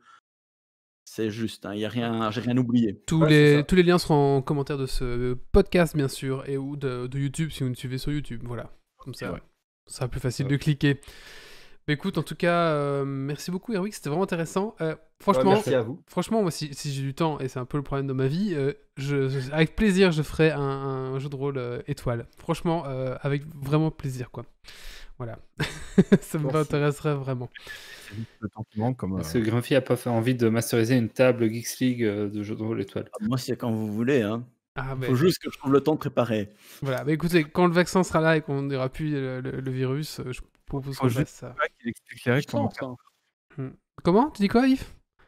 À distance. Ah oui, non, mais du coup, moi j'ai un peu du mal avec le jeu de rôle à distance. Je sais pas pourquoi, mais euh, moi j'aime bien euh, quand il y a une odeur de transpiration, euh, qu'il y, a qu'il y ait du coca, il y a du coca et des chips, quoi, tu vois. J'ai un petit peu. Il y a la feuille qui est toute poisseuse. Ouais, c'est Ah ouais. ça. Pour le jeu de rôle à distance, si ça vous intéresse, j'ai euh, codé, comme c'est du HTML, et je me suis arrangé pour que la fiche personnage euh, d'étoile soit disponible sur Roll20 en fait. Je sais pas si vous connaissez Roll20, c'est la plateforme euh, Mhm. De virtual tabletop pour faire du jeu de rôle en ligne. Et euh, il y a toute une liste de, de fiches officielles de Donjons et Dragons, des jeux euh, les plus utilisés. Et il y a maintenant celle d'étoile. Super. Ah bah voilà, et on n'a plus d'excuses. Ah, plus d'excuses, tout à fait. Non. Bon, en tout cas, merci beaucoup. Euh, franchement, bah, on espère aussi voir Ah, un jour. euh, on espère aussi voir un jour un de tes jeux en, en boutique. En tout cas, ce serait vraiment, euh, je pense. Ouais. ça serait Vu que je suis allé voir aucun distributeur ni aucun éditeur, ce serait un miracle que ça arrive en boutique. Ou alors, il faut que je, je- ça soit dans ma ville et que je vienne moi-même déposer mon jeu euh, tel un voleur, euh, mais un voleur qui vole Ah, rien. Sait-on jamais euh, l'éditeur en manque de contenu qui a parcouru Ouais. le bundle euh, de la cyberconve pour trouver euh, des choses prometteuses et qui tomberait sur ton truc et te contacterait Après, un petit mail, hein, c'est aussi un petit mail, on sait jamais. hein, ouais. Bon, voilà. Sinon, en Ouais. Auto-édition, si tu fais euh, du crowdfunding ou quoi, tu peux toujours euh, en, en sortir euh, des packs boutiques ou, ou euh, aller faire du, du dépôt-vente. Il y a, il y a un certain qui accepte. Ou alors tu peux faire, euh, c'est Lulu, un truc comme ça, où tu peux faire, enfin, les gens achètent et peuvent faire euh, une impression eux-mêmes ou un truc comme ça. euh, Ouais, j'a- j'avais mis Supercell sur lulu.com, c'est effectivement une plateforme d'impression à la demande, mais c'est les clients qui achètent directement le jeu qui le, se le font livrer chez eux. Oui, C'est pas de la boutique. T'as pas ce petit côté un peu magique euh, Oui, de, te- de voir ce que ta création dans un lieu de vente. Voilà. Et le niveau d'après, c'est quand il sera dans les gondoles de rayon au, au carrefour.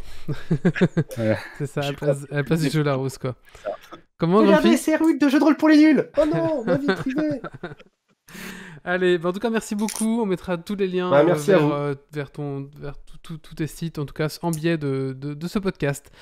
Euh, Et maintenant, le coup de cœur, coup de gueule de Yves. C'était pas. Oui, c'était pas moi.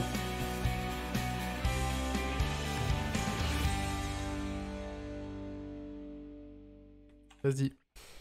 Eh bien, mon coup de cœur, euh, ça va être pour la, la- la Chine, en fait, enfin pas pour la Chine, pour un, ensemble de scientifiques chinois qui ont euh, réalisé, enfin ils ont déclaré la suprématie quantique d'un de leurs ordinateurs quantiques.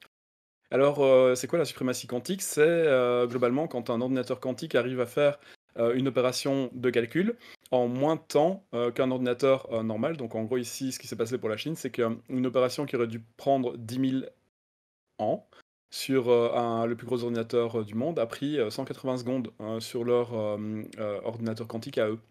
Alors, c'est pas les seuls à avoir déclaré la suprématie quantique.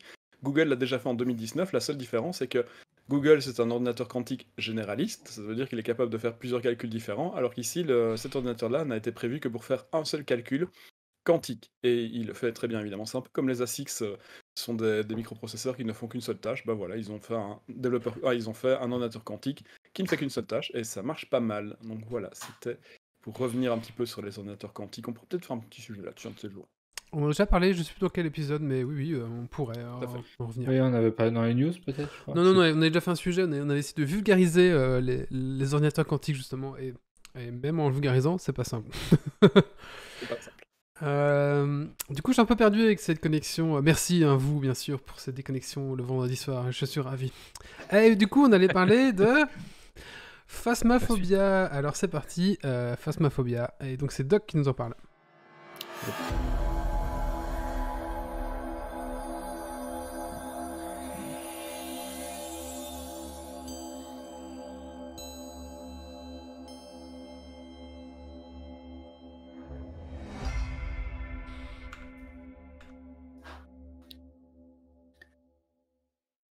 Alors, Phasmaphobia, c'est un jeu d'horreur indé dans lequel vous allez être des chasseurs de fantômes.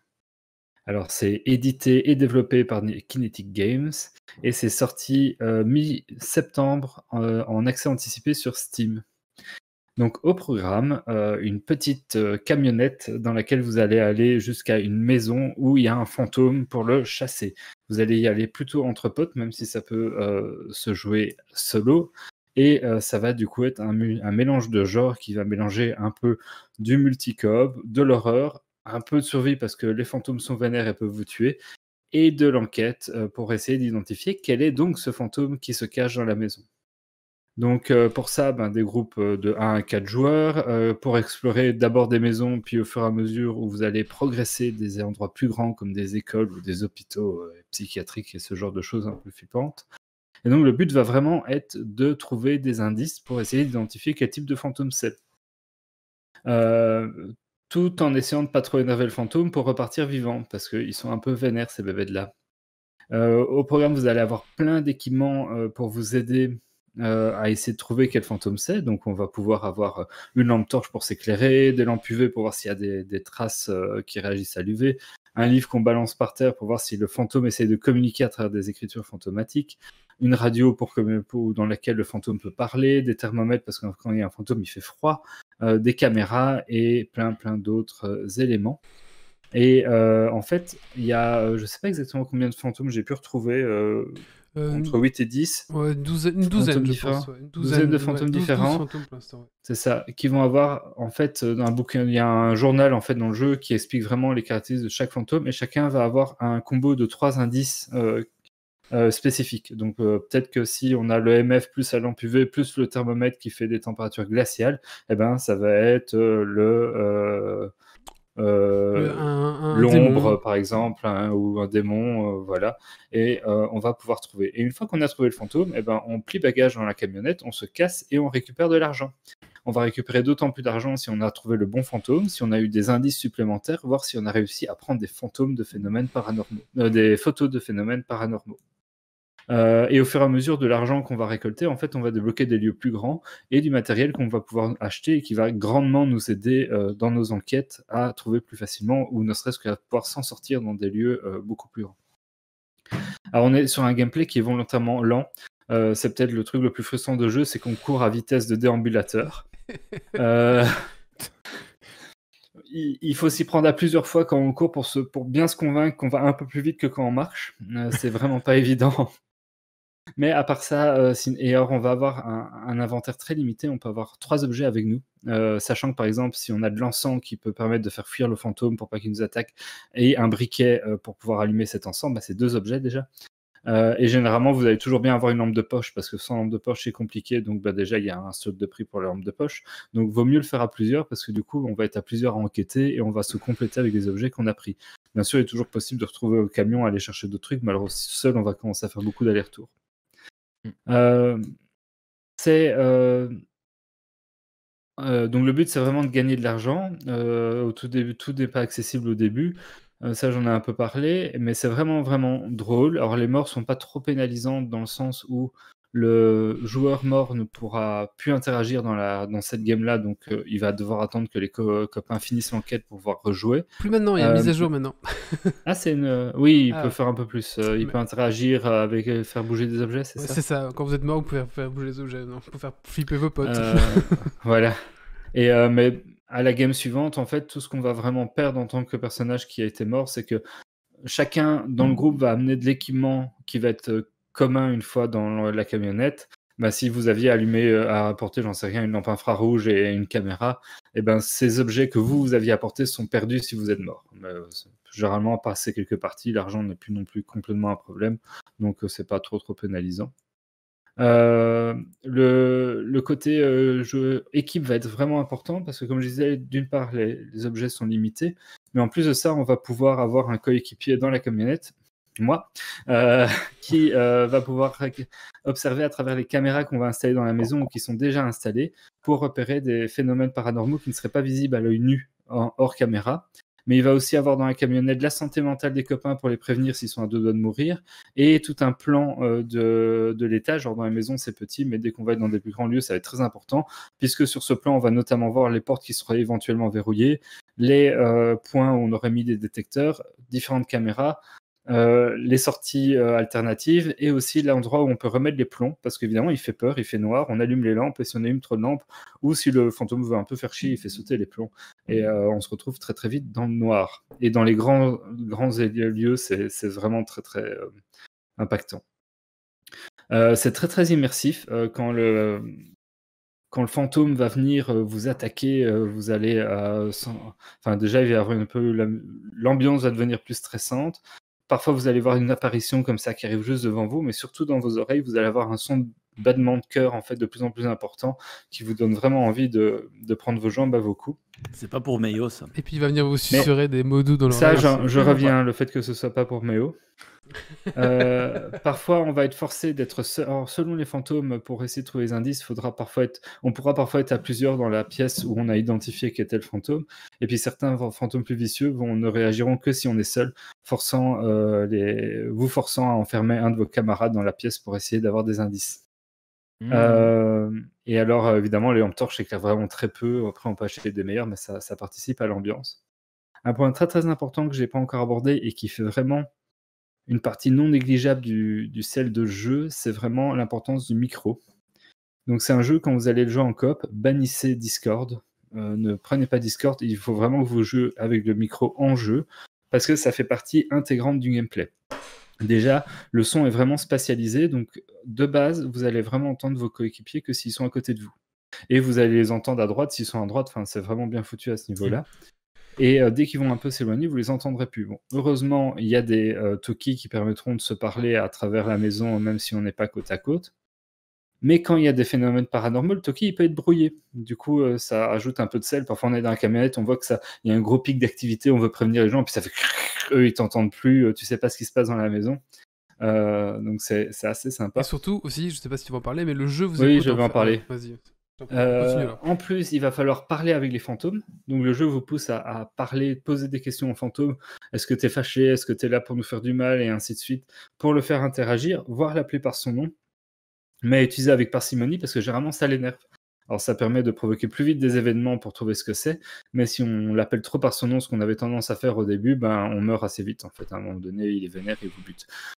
Euh, Quand tu lui parles, c'est c'est au micro? Oui, oui, tu donc parles euh, avec micro, le micro, en fait, dans Et- le jeu, le, le fantôme va tendance. C'est pour ça qu'il faut vraiment utiliser le micro du, dans le jeu. Et il sait parler français? Alors, Euh, le, il, le français est implémenté. il comprend le français, Ah, ok. mais il parle anglais. Ouais, le fantôme répond en anglais. En fait, le fantôme va répondre avec l'EMF. C'est une espèce de radio qu'on va pouvoir foutre au sol. Et si on l'a mis et qu'on parle au fantôme, lui va pouvoir utiliser la radio pour répondre, en fait.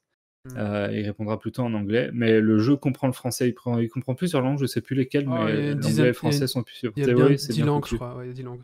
Et aussi, Euh, le jeu, parce que ça aussi j'ai découvert, c'est que le jeu t'écoute tout le temps. Donc si tu parles à ton pote, trop... il y a des mots-clés en fait qui font que le fantôme va réagir, genre j'ai trop peur, j'ai flippé, ce genre de choses. Il y a, en fait, il y a une liste de mots-clés qui font que le monstre, euh, enfin le, ou le démon ou n'importe quoi, euh, vont réagir plus ou trigger, moins. quoi. Ouais, c'est ça, qui vont trigger et C'est qui vont l'énerver. cool quoi. en fait. Ouais, c'est pas ouais, mal. c'est vraiment, c'est vraiment prenant. Alors, surtout que c'est d'autant plus important qu'à l'instant où vous allez être tué par le fantôme, votre micro ne fonctionnera plus pour les autres joueurs. Mm. Et, et ça évite, euh, contrairement à Discord où vous auriez encore dit Oh zut, je suis mort, même sans le vouloir, euh, eh ben, les autres savent que vous êtes mort. Là, là on ne le sait pas, on a juste plus de nouvelles dans la radio. Et donc, c'est- vraiment. Tu dis, ah, je suis mort, mais il n'y a rien qui sort. Oui, c'est ça, y a le, le micro est entre guillemets coupé, et, et donc c'est vraiment important d'utiliser le micro en jeu, sinon ça gâche une partie de, de l'immersion et de l'expérience. Alors, j'allais justement en venir à, à C'est pas fait pour Méo, parce que même pas peur, le jeu est en effet très très stressant. Alors, euh, bon, j'ai expliqué quand le fantôme attaque, quand on est seul, c'est un, un, peu- un peu flippant. Mais le, le multijoueur apporte beaucoup parce que ça permet vraiment d'encaisser le stress. Personnellement, je suis un gars qui aime pas du tout tout ce qui est horreur. J'ai arrêté de jouer à Bioshock 1 parce que j'avais trop peur. C'était juste pour filer le niveau. Euh, C'est toujours les mêmes qui s'enferment pour parler au fantôme. Je veux pas, je veux pas ah, c'est dénoncer. clair que moi, j'évite de m'enfermer avec, euh, avec, euh, le fantôme. Mais j'arrive vraiment à profiter du jeu quand même avec eux. euh, parce que il y a une dynamique de groupe qui se crée. Parce que si vraiment ça devient trop oppressant, je- on peut encore prendre le rôle d'aller dans la camionnette et aider parce qu'on a un vrai rôle à jouer si on est un peu en, en- dans- en arrière-plan. Et on, on va vraiment pouvoir. Enfin, moi, je trouve que pour je n'aime pas ce genre de jeu et j'accroche vraiment bien. Le, le côté jeu de groupe euh, passe vraiment bien. C'est vraiment, vraiment, vraiment chouette à faire. Alors, si vous êtes vraiment masochiste, il y a un, mo- il y a, il- c'est compatible VR, mais euh, ça, euh, vous n'aurez pas. D'autant qu'au moment où le fantôme euh, vous tue, euh, vous voyez ses mains surgir à gros plan au niveau de votre visage, en fait. Et en VR, tu- on voit vraiment que c'est une scène qui est faite pour voir le VR, le machin qui t'arrive dans la tronche. Euh, et euh, non, ouais, ça, faut, faut s'accrocher. euh. En vert, bof, quoi. Bah, celui qui aime bien, oui, pourquoi pas. Oui, mais, oui. voilà. Alors, comme j'ai dit, c'est un, un jeu qui est en, en alpha, qui est en accès anticipé. Euh, il va bientôt sortir, si c'est pas déjà fait, de nouveaux environnements, dont des prisons et ainsi de suite. Maintenant, les morts peuvent in- interagir un peu plus pour s'occuper pendant, en attendant la fin de l'enquête. Et c'est un jeu qui vaut pour l'instant 11,59€ et honnêtement, il vaut largement son prix pour son état. Donc, à la limite, même si vous n'êtes pas trop accès anticipé, vous pouvez. C'est pas un jeu euh, où on vous dit il est chouette en attendant la sortie. Non, c'est un jeu pour 11 euros. Il est vraiment chouette comme ça et donc vous pouvez vraiment y passer un bon moment. Et il y a les yeux fermés et puis à la limite, si, si dans deux ans il est terminé et il y a beaucoup plus de features, c'est du bonus quoi. Ouais. Il- graphiquement, Euh, il est pas super beau, mais euh, ça va. Hein? Ouais, c'est assez pour faire le. On est quand même dans le jeu une fois que c'est Ouais. assez immersif. Je dirais que c'est- c'est c'est 3D euh, Counter-Strike euh, condition zéro, quoi. Ouais, d'accord. ouais. À peu près. hein. Moi, ça m'a pas gêné en jeu. euh, non plus, pour parce qu'au final, c'est le euh, gameplay qui compte, ouais, c'est ça. Ouais. Oui, c'est ça, l'immersion est quand même présente. Euh, la durée de vie, ben, ça dépendra à quel point vous accrochez au niveau enquête et ainsi de suite. Mais vous en avez quand même pour quelques bonnes soirées entre amis euh, en groupe. Et donc, euh, au final, ça a été une très très bonne une surprise pour moi. Moi qui aime vraiment pas les jeux d'horreur, j'ai vraiment très longtemps hésité à, à aller avec eux pour jouer à ce jeu-là. Euh, et puis je me suis dit non, les, dernières, les autres jeux qu'on a fait ensemble, on a passé des bons moments, j'ai envie de continuer à jouer avec le groupe. Et je me suis dit au pire, c'est Steam, donc euh, si après une demi-heure je suis en PLS, ben, je me fais rembourser, je prends pas un gros risque. Et puis finalement, j'ai j'ai vraiment bien accroché, et donc je ne peux que vous le conseiller. Et ça se joue à combien? De 1 à 4. De jusque 4. Et qu'est-ce que vous conseillez? Euh, 4. 4. 3 ou 4. 3 ou 4, je pense c'est bien, c'est rigolo. En plus, il y a une petite dynamique de groupe et on rigole bien. Et, euh, Ouais. Voilà. Faut savoir que en 3, général, ça va encore, je pense. En dessous, euh, tu vas juste te retrouver à commencer à faire beaucoup, beaucoup d'allers-retours, puisque tu es limité dans ce que tu peux porter en objet, et, et ça casse un peu la dynamique de groupe. Donc voilà. 3, 3 ça passe encore. 4, c'est, je pense, vraiment bien. Il est pensé pour 4, je pense. hein. ouais, on est vraiment sur un jeu raclette, c'est-à-dire que tout seul c'est nul, mais à plusieurs c'est bien, quoi. Ouais.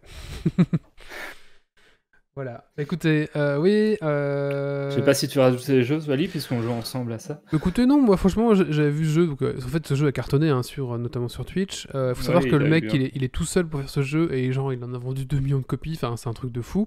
donc 2 millions x 10, euh, vous imaginez le machin. Donc le gars continue tout seul, je crois. Mais là, voilà, il, il continue à développer son jeu euh, peinard comme si de rien n'était. Et voilà, il dit le jeu va continuer. Je vais d'abord résoudre les bugs et après on fera des, des trucs un peu mieux, mais voilà. Donc voilà. Euh, Bah, Du coup, pour un jeu indépendant qui reconnaît la voix et tout, je trouve ça euh, plutôt euh, Oui.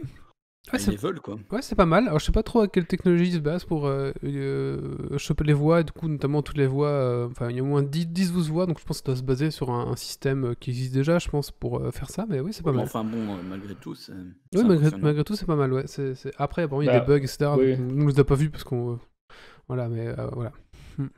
Après, je, je sais pas s'il se re- parce que il reconnaît la voix, mais les- euh, il y a peut-être 15 ou 20 phrases un peu clés euh, pour Ouais, de- avec les fantômes. de euh, après, non, parce que le jeu écoute aussi tout ce que tu dis, et dans ce que tu dis, il y a des mots-clés aussi qui trigger le, le truc. Et il faut savoir aussi qu'il y a une chose qui est assez euh, sympa, c'est que chaque monstre ou fantôme ou ce que vous voulez réagit de façon différente. En fait, il y en a un qui va plus vous attaquer, il y en a d'autres qui, si vous êtes plusieurs, ils vont pas vous attaquer. Il y en a, si vous êtes seul, il va vous attaquer direct. Euh, il y en Ah. a, si vous faites trop de bruit. vous- Enfin, du coup, chacun, chaque, chaque type de, de, de fantôme, il y en a 12, a sa façon un peu de, de, s'attaquer ou de réagir. Ou, de euh, réagir. Ouais, genre un poltergeist, ça va faire bouger, bouger beaucoup d'objets. Du coup, il y a moyen déjà. Enfin, il y a des trucs sympas. C'est vraiment Il y sympa. a certains éléments qui donnent des pistes euh, quand, Ouais. quand vous allez avoir des objectifs secondaires qui vont aussi vous rapporter de l'argent. Et quand tu as l'objectif secondaire de, de bloquer une chasse du fantôme, tu sais que souvent tu es déjà sur un truc un peu plus vénère euh, qui, Mm. va, qui va avoir tendance à faire ça. Oui, il y a des, des moyens de défense. Tu peux déposer des crucifix, mettre de l'encens, se cacher dans les placards. Pour, euh, pour, parce que quand le fantôme passe en mode attaque, bah, il vous bute. Quoi.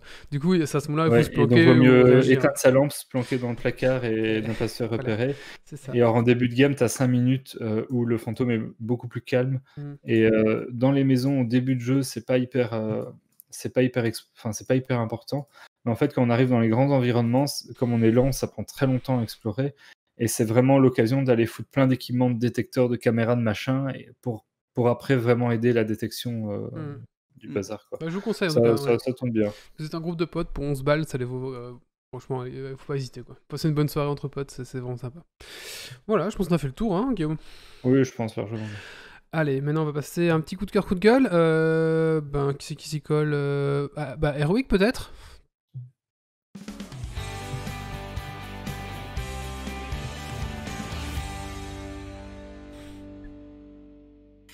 Du coup, je dois faire un coup de cœur ou un coup de gueule? C'est ce que tu veux. Tu, tu veux. choisis, tu choisis un des deux.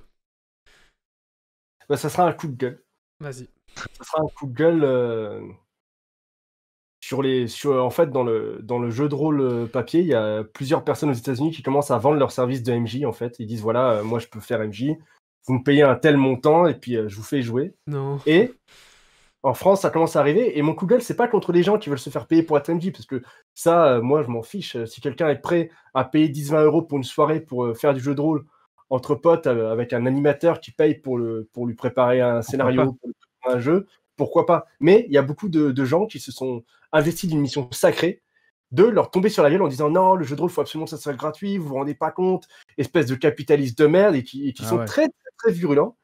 Et moi, je vois ça sur mes groupes Facebook que j'administre ou parfois sur des commentaires de vidéos. Puis je trouve ça super euh, violent pour pas grand chose au final. Si tu veux pas payer pour du MJ, bah, tu payes pas. Puis si personne ne paye, bah, il y aura pas de MJ payant. Et je trouve ça d'une violence. Donc euh, voilà, je voulais faire mon petit coup de gueule là-dessus. Et puis Ah bah, je que le, je te rejoins. le MJ payant, pourquoi pas au final, hein, parce que c'est Ouais. très, Moi, je trouve très que- en fait, moi, de préparer. Hein? Vas-y, Vas-y, continue. Ah non, mais c'est enfin, c'est, euh, le coroner qui est pas la soir qui en a- qui m'en a déjà parlé pas mal de fois, mais au final, voilà, c'est beaucoup beaucoup de temps de préparer des, scénarios et autres. Donc le gars qui ferait ça un peu propre, euh, un peu un peu pro, pourquoi pas euh, On paye bien une place de cinéma ou quoi, ne pas Bah ouais. participer. hein. Et au Ouais. moins, comme ça, bah, tu viens à 5 et t'as- t'as- personne n'a envie de faire MJ, tout le monde a envie de jouer. Bah, tu viens à 5, les pieds sous la table, et c'est quelqu'un qui, bah, qui fait ce rôle-là. quoi. Oui, moi je trouve ça super intéressant parce que ça, c'est une évolution du jeu de rôle que peu de gens avaient entrevu, mais qui peut amener plein de chouettes choses. On le voit avec les, les plays sur YouTube, surtout du côté américain, même si ça arrive quand même euh, un petit peu du côté francophone, mais euh, que ça génère quand même euh, un certain montant, et du coup ça génère une certaine qualité, une émulation, tout. Alors malheureusement maintenant c'est surtout sur les, grosses licences, mais ça peut être très très intéressant pour, pour la suite. Et euh, ça peut être effectivement intéressant d'avoir un, un- un bon MD qui Ouais. est capable de te, te donner une ambiance, que ce soit musicale ou d'effets de voix et tout, euh, que tu peux pas spécialement faire toi. Donc euh, moi je trouve ça super intéressant. Ouais. Bah merci pour ce petit coup de gueule. Bon, on est en train de perdre Kylian, là je vois qu'il est en train de... Ça va Kylian? Ça va, ça va. Alors avant qu'il s'endorme, on va faire sa chronique, d'accord? Alors c'est parti. Comment aller jouer à quoi à Noël? C'est parti.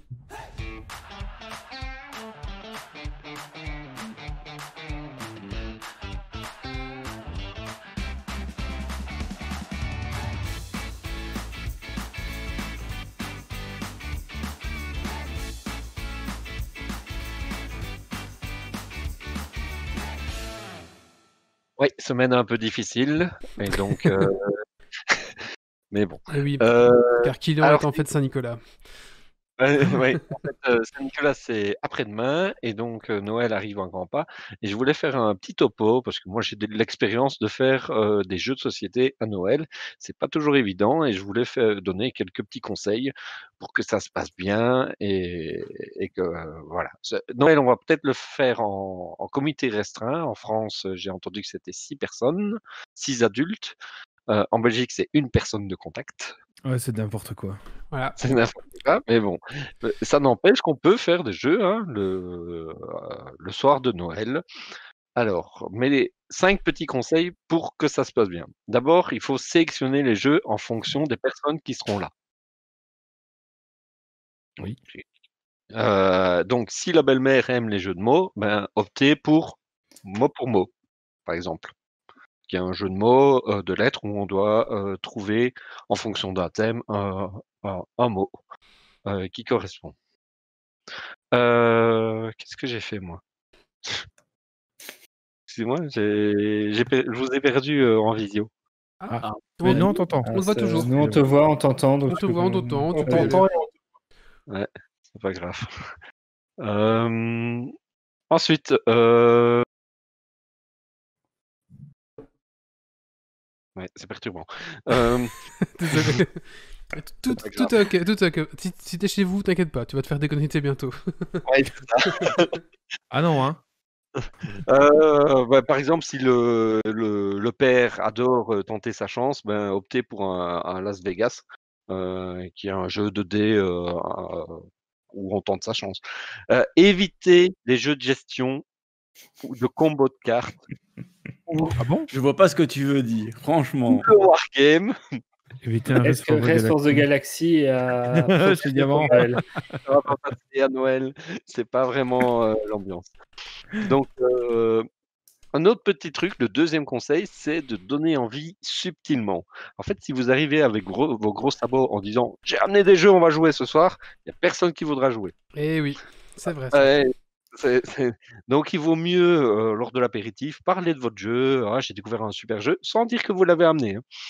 Et Donc, euh, offrez les jeux aux gens, comme ça ils auront envie d'essayer. Ah, ils les auront envie- techniques, les techniques. Attention, ça c'est Ah mais ton, ton jeu là qu'on vient de t'offrir, il a l'air cool. Est-ce qu'on en ferait pas une petite partie? Justement, j'ai dans mon slip mon jeu. c'est ça Ah vas-y. Euh. J'ai- amené les extensions au jeu qu'on t'a offert. Allez, te... explique-nous ta technique. Explique-nous ta technique. très bien en technique. En fait, euh, pour les gens qui, qui, qui n'ont jamais joué ou voilà, le truc à faire, c'est d'amener un jeu enfant. Parce qu'à l'apéro, généralement, les enfants, ils s'ennuient. Tu amènes le jeu, tu, tu fais jouer les enfants, au moins ils s'ennuient pas, tu es tranquille pendant 10 minutes. Et euh, les, adultes qui n'ont jamais joué, ils se disent Ah, tiens, euh, les jeux de société, c'est quand même bien, hein, on s'amuse bien. Donc, en idée comme ça, amener un petit arc euh, ARGH, donc euh, ce petit jeu-là, Arc, qui est un super jeu, ça se joue en 15 minutes, les, les enfants aiment beaucoup.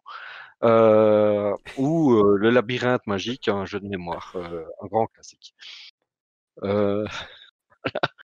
Euh, Ça me fait rire, vas-y, euh, c'est intéressant la technique pour apporter le jeu de société à Ouais, bah ouais, Noël. La, la manipulation du jeu de société. Ouais. Un, un- un petit service compris aussi qui plaira à tous les enfants. ah, oui, c'est un. Ouais, Si aussi. vraiment vous êtes roublard, vous arrangez pour que la box lâche, comme ça il n'y a pas d'internet, pas de GSM, ils n'ont pas le choix. Pas. Et tu fais en sorte que ta maison soit une cage de Faraday, comme ça il n'y a même pas de 4G. Ah Ouais. bah tu vas chez Wally, faire Voilà. Noël, hein, la, la box saute, euh, il n'y a pas de 4G, il n'y a plus qu'à jouer Fini. sociétés. Alors, je vous ai retrouvé, donc ça vient en visu. Euh, Ah. donc, euh, troisième conseil, sélectionnez le moment où sortir le jeu. Ah. Le, sorti- le meilleur moment, le top top moment, c'est entre le plat et le Et le dessert. dessert. Bah oui. Voilà. Parce que si vous le saurez à l'apéro, de toute manière, tout le monde s'en fout, euh, tout le monde sauf les cadeaux, c'est vraiment pas. Et si vous le sortez à l'apéro, ça va casser l'ambiance. Après le dessert, vous risquez d'avoir des fatigués. Tandis sous, que-. Ouais. Euh, C'est c'est ce qu'on dit, des Après fatigués. le troisième pouce, Après le, le, le plat principal, tout le monde sera content de faire une pause avant d'attaquer la bûche. Et donc, euh, c'est voilà. Euh, L'espace de jeu, quatrième conseil. Il faut être conscient qu'à Noël, la table est chargée de couverts, de vaisselle, de plats. Et Et donc, la si table vous du salon aussi. Plastifiez vos jeux. Vos yeux, vos jeux, mais si vous n'y mettez pas du sien, la table, elle va pas se débarrasser toute seule. Et donc, aidez l'hôte de maison à, à débarrasser. Euh, ne le faites pas trop tôt, ça fait trop pressé. donc les gens- ne le faites pas à fond. ne le faites pas à fond parce qu'il y a des gens qui, pour ceux qui n'aiment pas jouer, euh, ils vont vous râler dessus si vous le faites à fond. Et Ils aiment bien, je sais pas, généralement les gens qui n'aiment pas jouer, ils aiment bien garder la vaisselle devant eux pour discuter. Oui, ou, prendre un troisième service. Tu fais, mais tu t'es déjà resservi deux fois. Oui, mais c'est la troisième, j'ai encore faim. Alors pour les autres, j'ai une super astuce. hein. Si ça vous fait chier de débarrasser, vous invitez des gens qui ont envie de jouer des jeux de société. Comme ça, ils vous aident. Kylian, tu fais quoi euh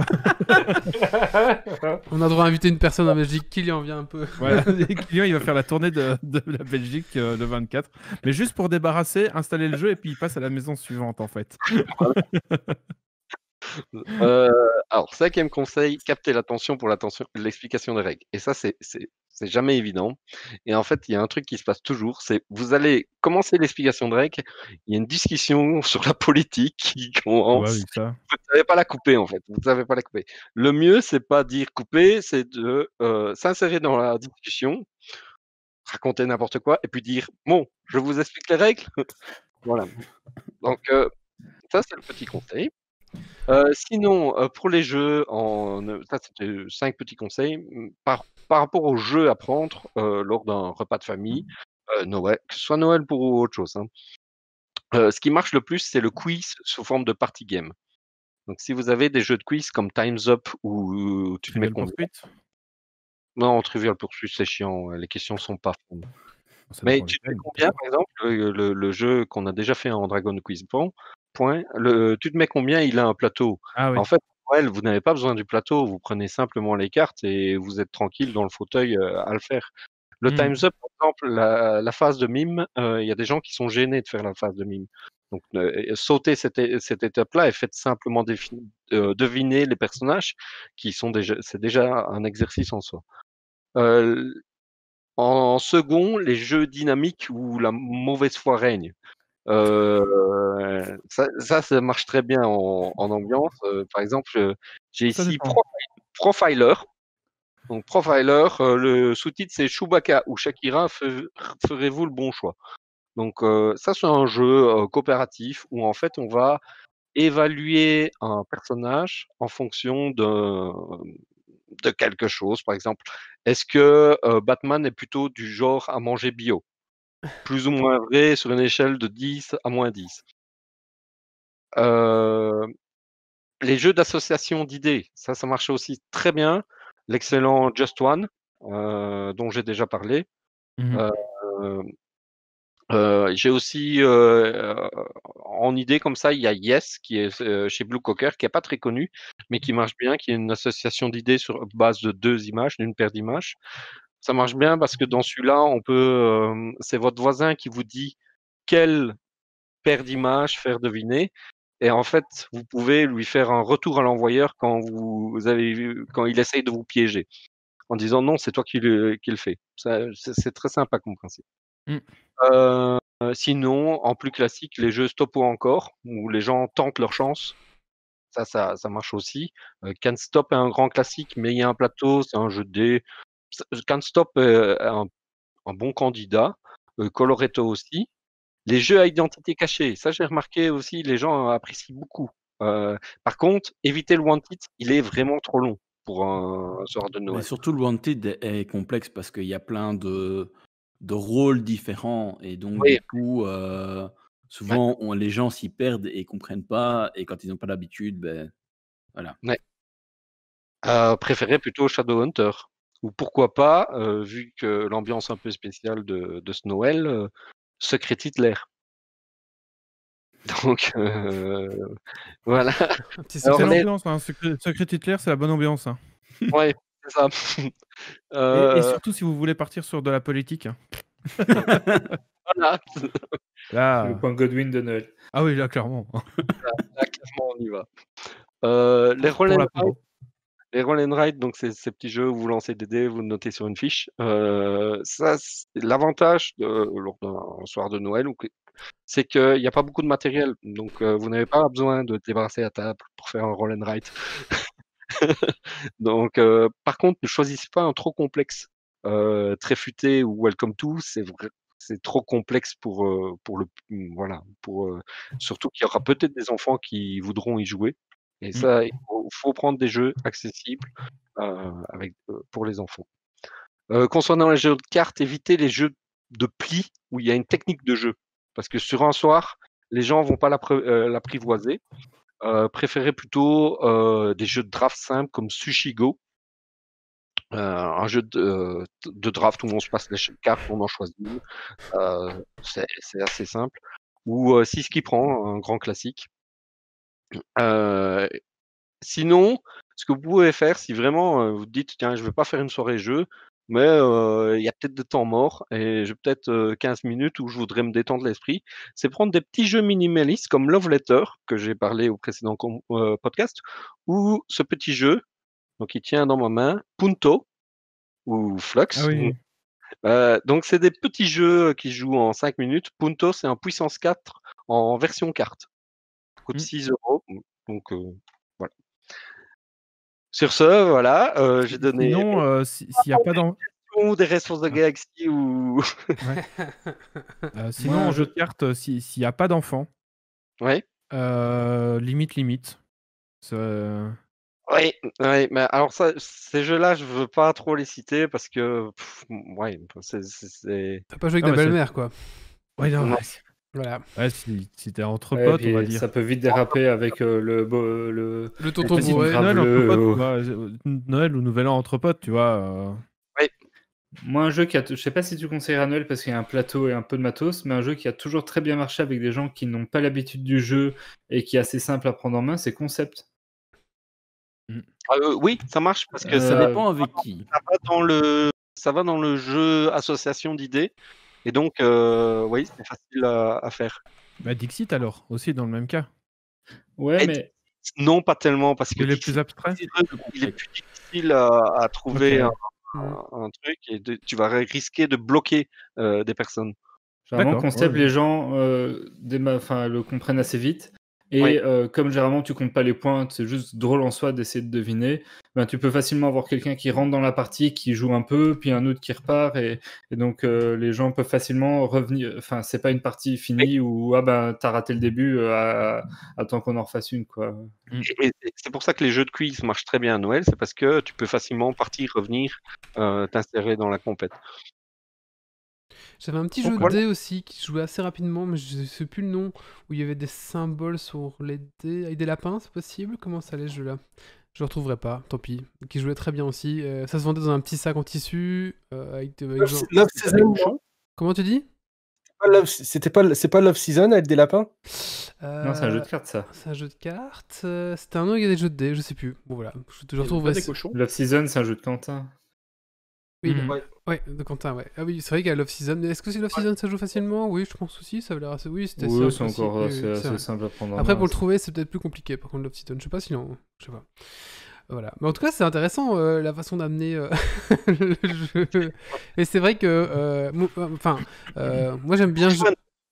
Comment? Est-ce que tu joues à Noël euh, en famille? Euh, non, mais ah, par contre, je, je- enfin, j'adore jouer aux jeux de société, mais je déteste les gens qui, dès le début de la soirée, c'est vrai, arrivent et disent euh, on va jouer, tu vois. Euh, Ouais. J'aime bien me dire bon, on verra bien, tu vois. euh, j'aime bien aussi, mais j'ai- j'aime bien jouer une, fois que je suis dedans. En fait, je suis, je suis très content en général. Ça, ça- je- j'en redemande quoi. Euh, mais c'est vrai que les gens qui qu'on voit arriver depuis l'apéro, qui ont déjà pris leur jeu de société, tu dis bon, euh, doucement quoi, tu vois. gars, le gars qui arrive avec sa boîte de zombicide, tu fais bon. Ouais, c'est ça. Alors, alors toi, euh, on verra. Mais euh, sinon, en famille, non, je joue pas trop aux jeux de société. Ça dépend des groupes d'amis, en fait. Euh, bah, quand je, je vais chez le coloc, oui. Euh, Oui, là, Ouais. Je suis sûr qu'on va sortir jeu de société et qu'on va faire un truc, ouais. mais, euh, Moi, j'ai une famille qui est très joueuse, mais par contre, ma famille euh, à moi, euh, ils sont pas très joueurs. Donc, euh, tu vois, en fonction, ben, je sais que je peux, amener des jeux ou, ou moins. mhm. nous, dans la famille, on a banni les jeux de société et tous les jeux en tout genre. Parce que, Parce que, parce que tout Parce le monde a dit- et pas le reste. Non, non, non, parce que tout le monde dit que euh, tout le monde triche. Alors tout le monde dit non, personne ne triche, moi je triche pas, mais toi tu triches, non, mais voilà. La dernière fois, on a fait un repas de famille, on a fait un karaoké. Ils Ouais. ont triché au karaoké. Il y a eu des fiches qui ont été déchirées de rage. D'accord. Ah C'est ouais. drôle. Ah ouais, Donc euh, voilà, non, le- jeu jeux- société où le but c'est de tricher. non, ouais, si, il y a Monopoly pour les tricheurs.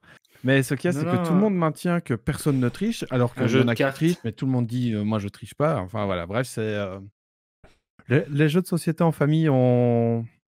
C'est non. Mytho. C'est c'est des choses que tu fais aussi euh, euh, en, en famille ou pas du tout? Enfin, Je sais pas si c'était un jeu de société en fait. Erwick Ouais, on n'a pas bien compris le début. Attends, on n'a pas, on a- T'es- t'es Pardon, j'avais pas fait gaffe que on- c'était. on n'a pas compris le début. ouais. Oui, on n'a pas compris le début, euh, comme fille à couper. Donc euh, je disais, euh, est-ce que euh, toi, de, de ton côté, en famille, euh, jeu de société, pas jeu de société, enfin je sais pas si c'était jeu de société, d'accord. Je fais beaucoup moins de jeux de société que le jeu de rôle parce que j'ai pas le temps pour aller les jeux de société et les jeux de rôle et je préfère le jeu de rôle. Et en famille, je fais pas beaucoup de jeux de société parce qu'on on, on est une famille de, de mauvais joueurs et de tricheurs aussi. Ah bah tiens. Enfin, surtout moi en fait. Je suis, je suis le Ah roi bah. des mauvais joueurs donc je joue, je joue pas avec les gens sinon je les énerve. J'aime pas perdre. Au moins le jeu de rôle, il n'y a pas de perdant, il n'y a pas de gagnant. Je suis tranquille, je vais embêter personne. Mais le jeu de société, à partir du moment. Si, la- la- Noël dernier, on a fait un trivial poursuite, mais pareil, j'aime pas perdre. Surtout que c'est de la faute de, de mon équipier ou de mon équipière et pas la mienne. Enfin bref, je suis pas très agréable à jouer aux jeux de société. Donc en général, je joue une fois, j'énerve les gens, j'arrête de jouer. Ou, on- ou- ou pire, on arrête de jouer avec moi parce que je suis trop chiant. Mais non, je fais peu de jeux de société. Ou alors, il faudrait des trucs coopératifs. Ah oui, Ouais. ça, il y en a, il y en a, hein, ça existe. Hein. Il Il y en a, il y en a des chouettes. des trucs coopératifs. C'est chouette. Et ouais. encore, en coopératif, je pourrais mettre la faute sur l'autre euh, quand on perd. Quoi. Tu peux peut-être utiliser les mêmes techniques pour amener un jeu de rôle au repas de Noël en... avant le dessert. Si tu fais ça, je dis Ouais. chapeau. hein. Ouais, franchement, J'ai trop les gros sabots, moi. Comme tout le monde sait que je vis jeu de rôle, je dors jeu de rôle, que j'ai une chaîne. Enfin, je parle jeu de rôle tout le temps, donc au bout d'un moment, on me voit arriver de loin. A- Eh, euh, vous faites rien, jeu- vous voulez pas faire Non. Il y a un jeu de rôle comme ça, c'est apéroliste, euh, où en 5 minutes, euh, tout le monde a sa fiche de perso en pré-tiré, et c'est fait pour euh, faire du jeu de rôle à l'apéro. Et une partie, dure, une partie dure 15-20 minutes. D'accord. C'est apéroliste, c'est ça? Apéroliste, ouais. D'accord. Et il y a soit en fantasy, soit euh, plutôt euh, Lovecraft, D'accord. euh, Cthulhu. Bah, en tout cas, merci euh, Kylian, c'était intéressant Euh, comme euh, chronique. Joyeux sympa. Noël à tous les joueurs. oui, c'est vrai. Euh, bon, on se revoit encore d'ici là. On se revoit encore avec un, un podcast avant Noël, mais sinon, deux ouais, semaines, en effet. dans deux semaines, tout à fait. Allez, petit coup de cœur, coup de gueule. Grumpy, tu dis colle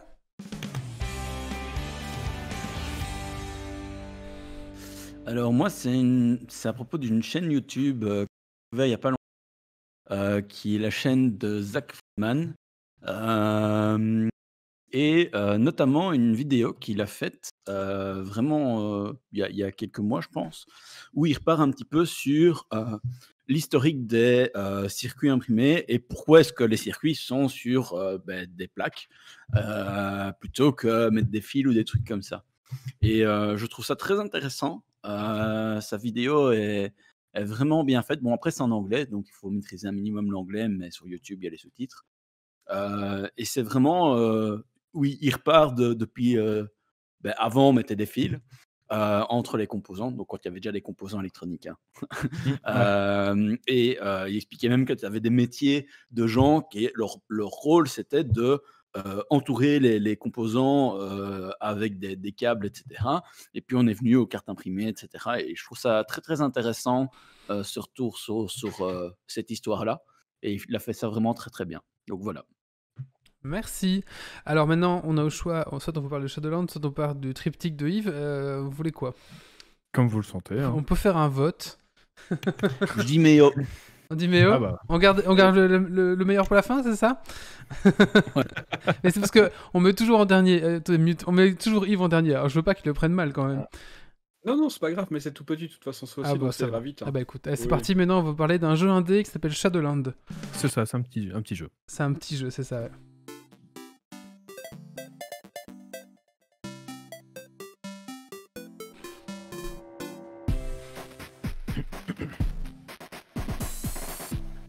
Eh Shadowlands est euh, la huitième extension d'un jeu sorti euh, en 2004 euh, ou 2005, hein, ça dépend.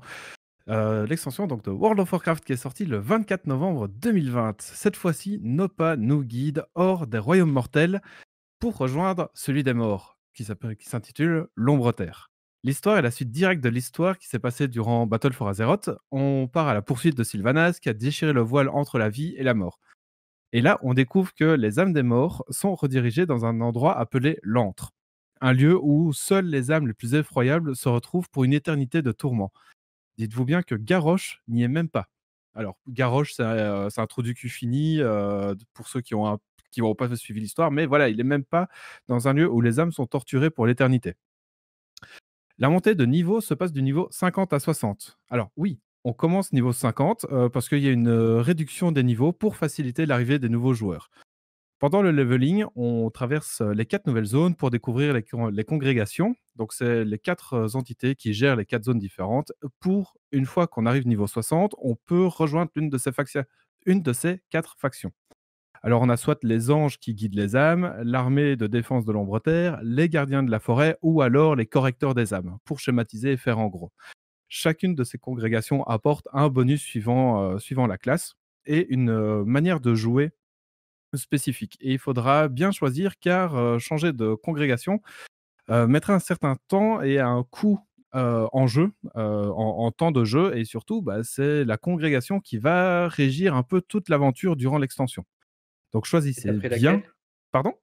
T'as pris laquelle du coup? Moi, j'ai pris euh, les correcteurs d'âme, les, les Ventir, qui sont un peu euh, les vampires gothiques euh, qui récoltent l'anima rouge.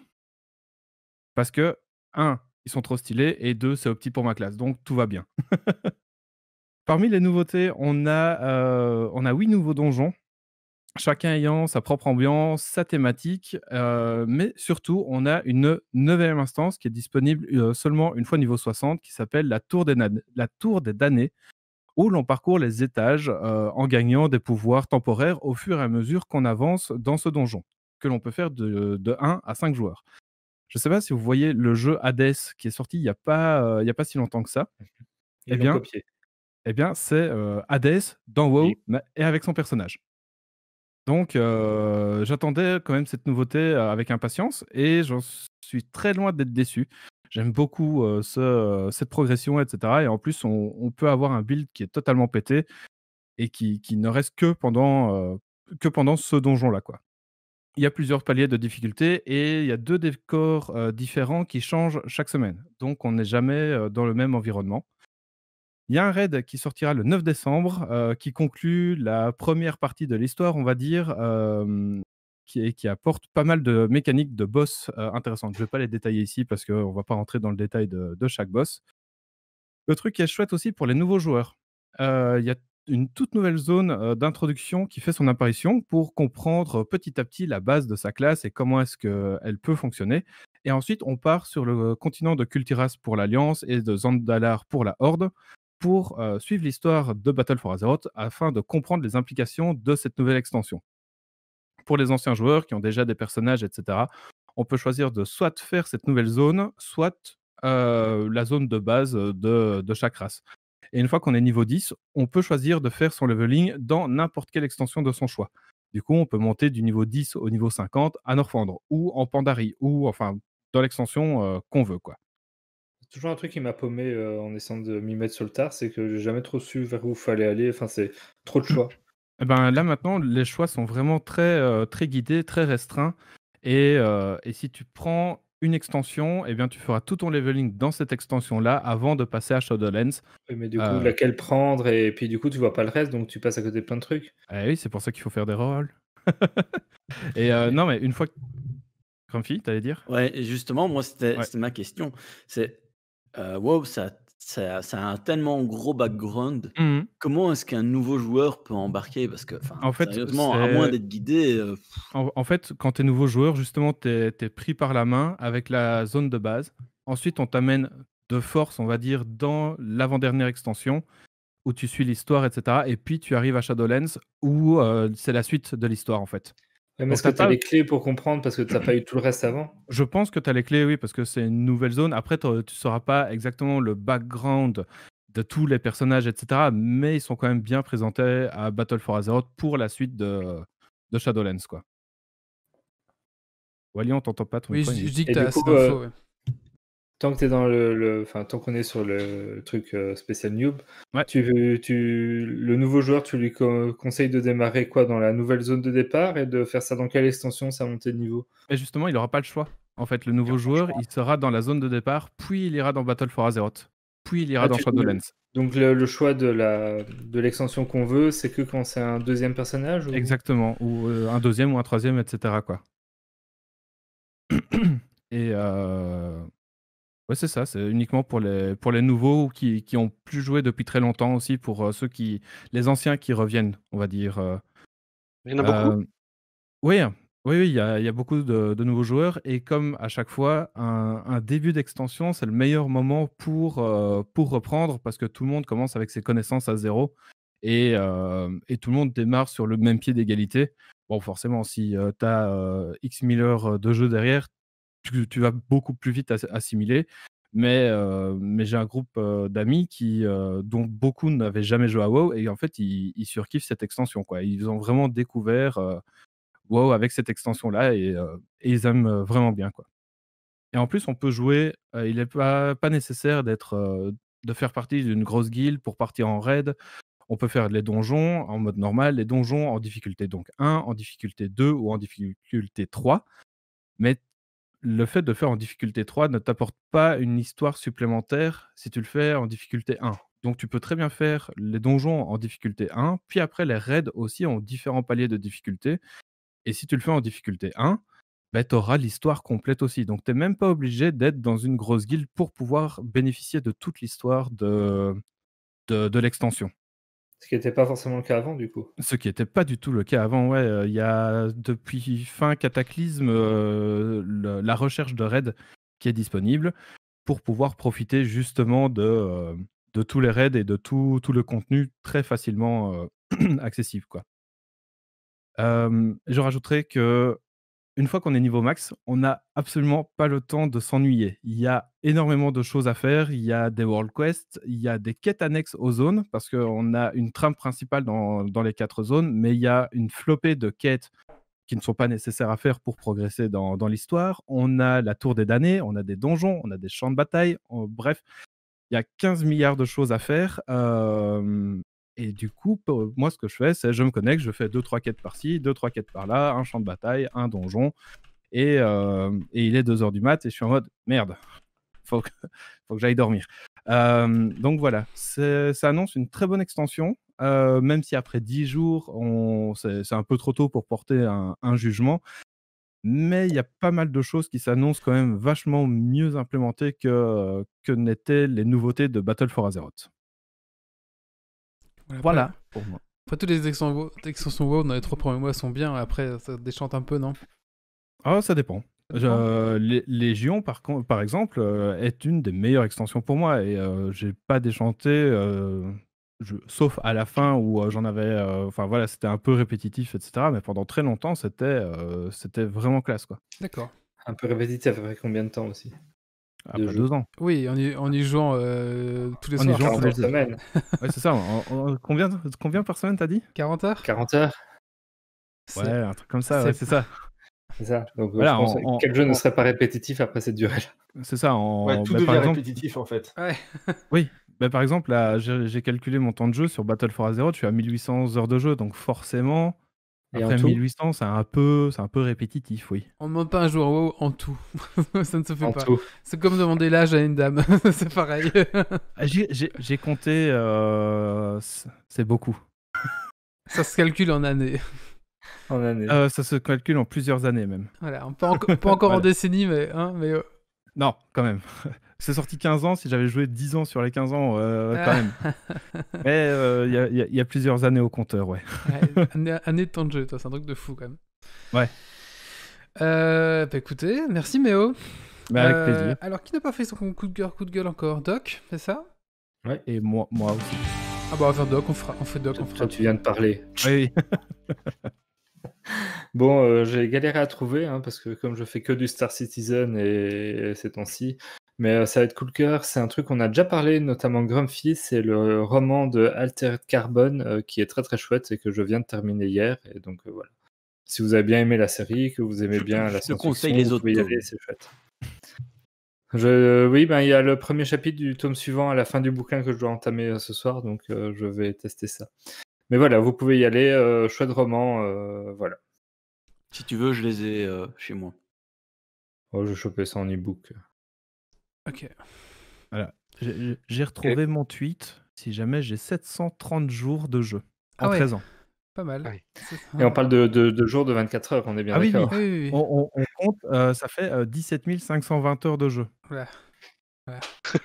Voilà, voilà. Imagine tout ce que t'aurais- tout ce que tu aurais pu apprendre pendant ce temps-là. Tu aurais pu apprendre euh, trois langues. Il y a des gens, ils, viennent, ils deviennent multimillionnaires avec ce temps-là, euh, mais où cher. Ah, nous, on n'a pas fait mieux, hein, mais. Hervé, Moi, je sais. Est-ce que tu, place. joues à WoW, Hervé? Ou est-ce que tu as déjà joué à WoW? J'ai joué à WoW il y a super, super, super, super longtemps. D'accord, ok. J'avais un prêtre nain, je suis arrivé niveau 38 et euh, moi je trouve ça trop répétitif et trop cadré. Le farming, le tuer des, pe- des, loups, des petits loups, puis des moyens loups, puis des gros loups. J'ai même pas eu le courage d'arriver à un assez haut niveau pour avoir les raids et les, les- les trucs intéressants. D'accord, ouais. J'ai abandonné avant. Même les raids Bah- sont répétitifs. hein. Bah, les raids, ce qu'il y a, c'est que tu te bats contre un script. Donc forcément, quand tu... euh, c'est toujours le même script qui, euh, qui se déclenche. Quoi. Donc forcément, oui, c'est c'est un peu tout le temps la même chose. Merci. Mais pour ça, il y, a il y a des PG, tu joues contre des humains. Donc c'est pas, c'est pas des scripts en face. C'est vrai, c'est vrai. C'est vrai. Euh, dernier sujet pour ce soir, et c'est Yves qui va nous parler donc, euh, de son triptyque, notamment euh, parler un peu de l'espace. C'est ça mon petit Yves? Parfait. Allez, c'est parti.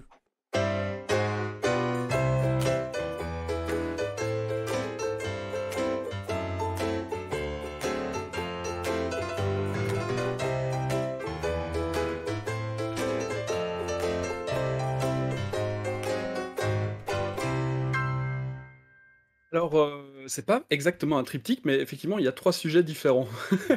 et, je vais vous parler un peu d'espace. Mais d'abord, euh, une annonce de service public. Euh, J'ai un pote qui bosse chez Epic. Donc, Epic, c'est une Real Engine et Fortnite, qui cherche un artiste technique, euh, infographiste, pour travailler sur l'interface homme-machine pour voiture qu'ils sont en train de développer.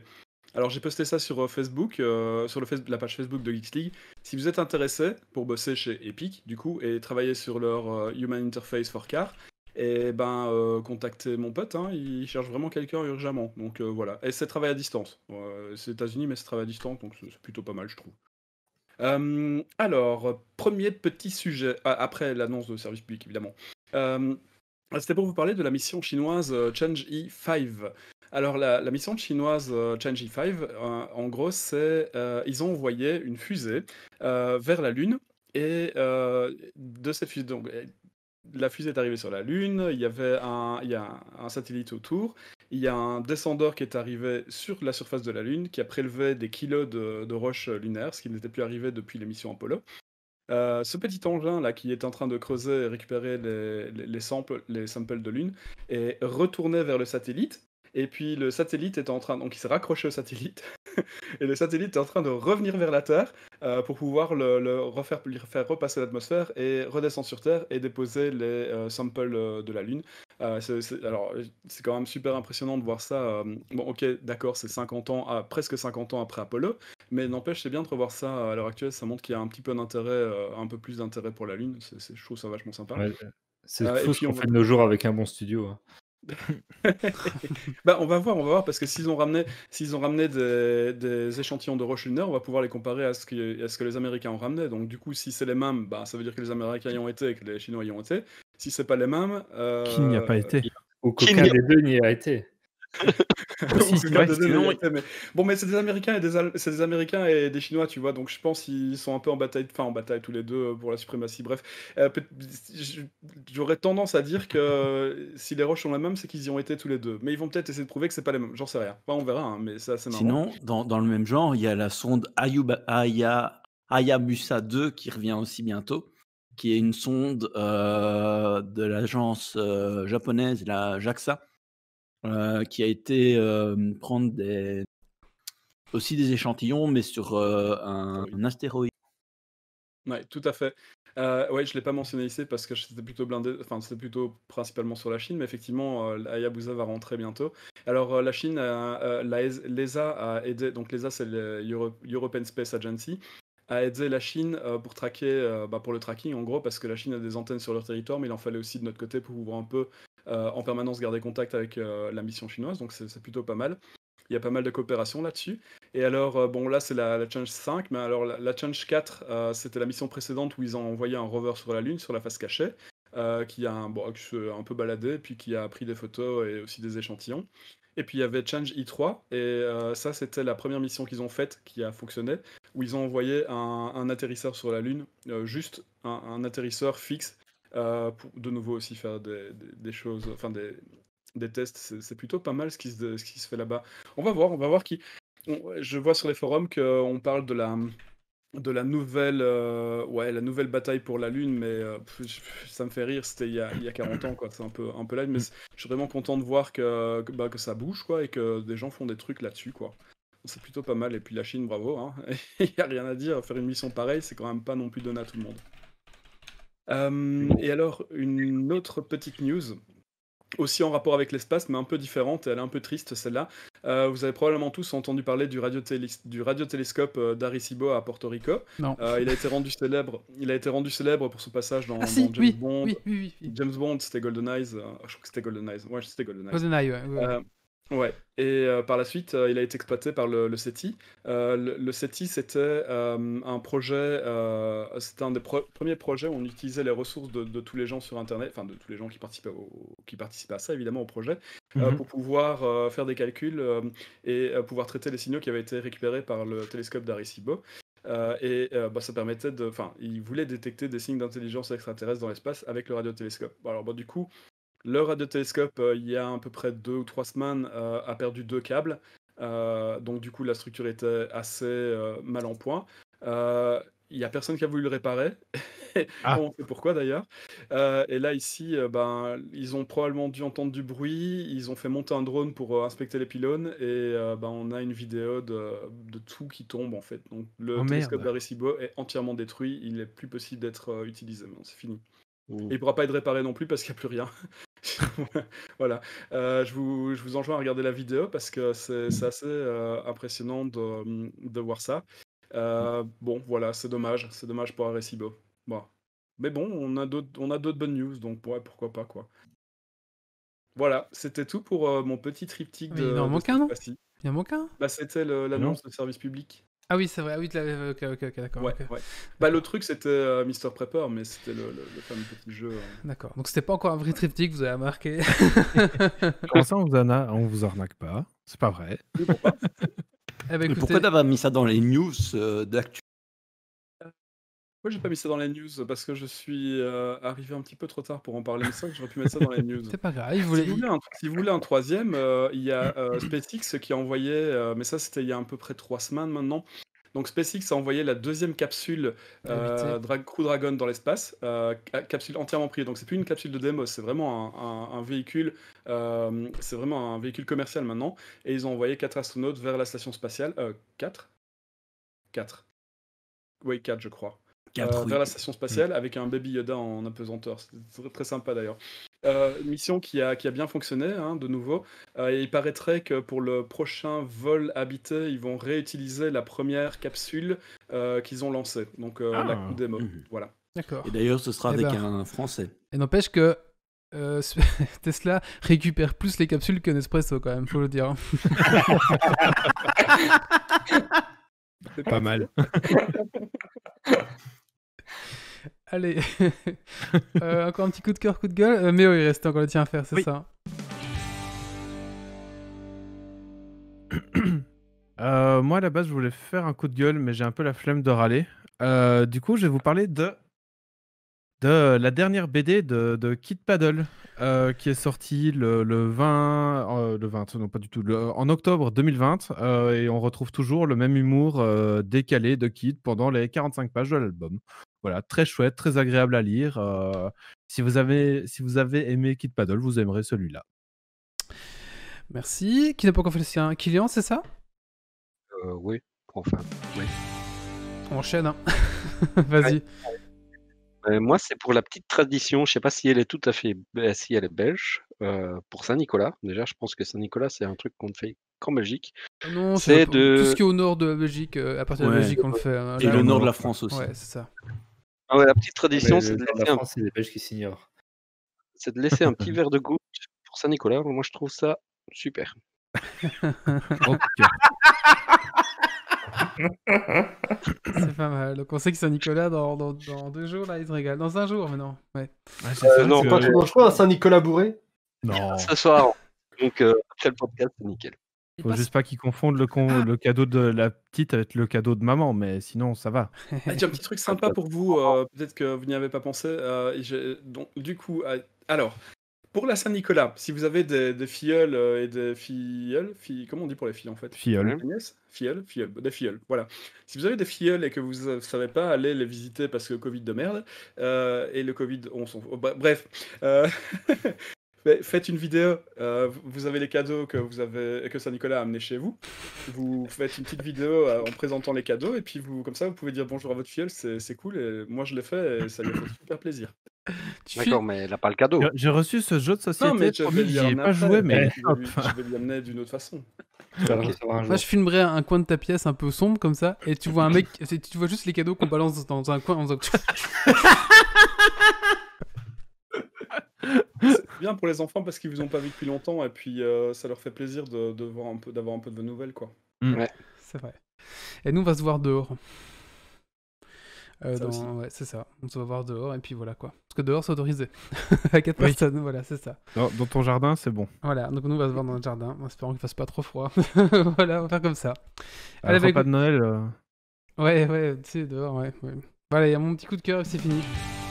Ah bah, mon petit coup de cœur, j'ai découvert, enfin, vous allez me dire, alors, je suis euh, complètement à la, à la ramasse et has-been, j'ai découvert enfin la série Viking. Euh, c'est ah, pas Je mal, dois toujours le regarder. c'est vrai, euh, c'est pas ouais. mal, c'est rigolo. Euh, le seul point négatif, c'est que dans cette série, les enfants grandissent et vieillissent, mais les femmes ne, ne- les femmes ne vieillissent jamais. Alors, je sais pas comment ils font. Ouais. Donc, euh, il y a un petit souci à ce niveau-là. C'est le secret beauté des Vikings. Ouais, je sais le pas. froid, je- ça je sais pas trop. Euh, les enfants ils grandissent, ils vieillissent, euh, les hommes, mais les femmes ne bougent pas. voilà, je comprends pas pourquoi. Voilà, donc, euh, mais sinon c'est sympa, euh, c'est- ça se laisse bien regarder et c'est. Ouais, je, Ah, l'ai vu aussi, mais j'ai pas été jusqu'à la dernière saison. Ah, je suis pas trop où j'en suis, je crois que je suis à la troisième. Hein. Je sais pas combien il y en a au Ouais. tout. Non, Euh, c'est sympa. 5, je crois. Il y en a cinq. Oui, je Cinq crois ou qu'il y en a six. cinq. Euh, je préfère vraiment la partie quand ils sont euh, en Angleterre du coup que la partie quand ils sont chez eux. Alors je sais pas si c'est global pour tout le monde, mais euh, voilà, c'est sympa sinon. Ouais, à voir. Après, je- par contre, Moi, je que- me posais la question par rapport à la véracité historique de cette série. Oh non. Ben, de- derrière, c'est la chaîne historique qui a produit, Mhm. qui est une chaîne d'histoire, donc ils sont quand même basés sur pas mal de choses euh, Mhm. réelles, ma- mais c'est énormément romancé. Et si tu mets ça sur euh, une ligne du temps historique, en fait, tu te rends compte qu'ils ont mergé certains Ah oui, moments ensemble ça, ouais. pour que, euh, ça passe bien, en fait. Parce Mhm. que sinon, ça, ça aurait été plat. Ouais, c'est ça. Sinon, ça se passait sur 4 générations et je vous vois un peu le principe. Ouais. C'est ça. Bon, voilà, c'est tout. Ah non, non, c'est pas tout. On a oublié un truc. Quoi? Bah, t'as fait quoi de geek cette semaine? Non, il l'a déjà fait. Ça, c'est en il a début. C'était au C'est au début. Au début, Yves. Mais il a pas dit. Il a pas dit. Si, il a dit. Si, je l'ai dit, si, je l'ai dit. J'ai- Il a terminé avec lui. Eh, mais Yves, il recommence à zéro là. Et Bienvenue à tous dans Bonjour à tous. numéro ce 209. soir, nous recevons Erwick. Je crois que Yves a reboot et tombe bien des, des news qu'il nous disait tout à l'heure. Ah, il a reboot, il recommence à zéro. Bon, euh, bonsoir Oracti. Bienvenue sur le channel. Attends, juste Non, à la la technologie chinoise, ça, dé- ça, ça déconne de temps en temps. Allez, on va clôturer ici le podcast. Euh, désolé pour Arctic qui arrive tout le monde dans, dans la chatroom, mais là on s'en va, nous. voilà. Euh, Non, mais écoutez, C'est Yves en fait, ça sur la chatroom. On aimerait bah, remercier euh, notre invité euh, Erwick. hein. Franchement, merci à toi. Ah, merci à vous. C'était sympa. Alors, tous les liens de toutes tes productions et de partout où vous pouvez le trouver, on le mettra en, en commentaire euh, sur YouTube ou sur notre podcast, enfin sur notre billet pour le podcast. Donc, n'hésitez pas à, à aller voir, euh, c'est c'est intéressant.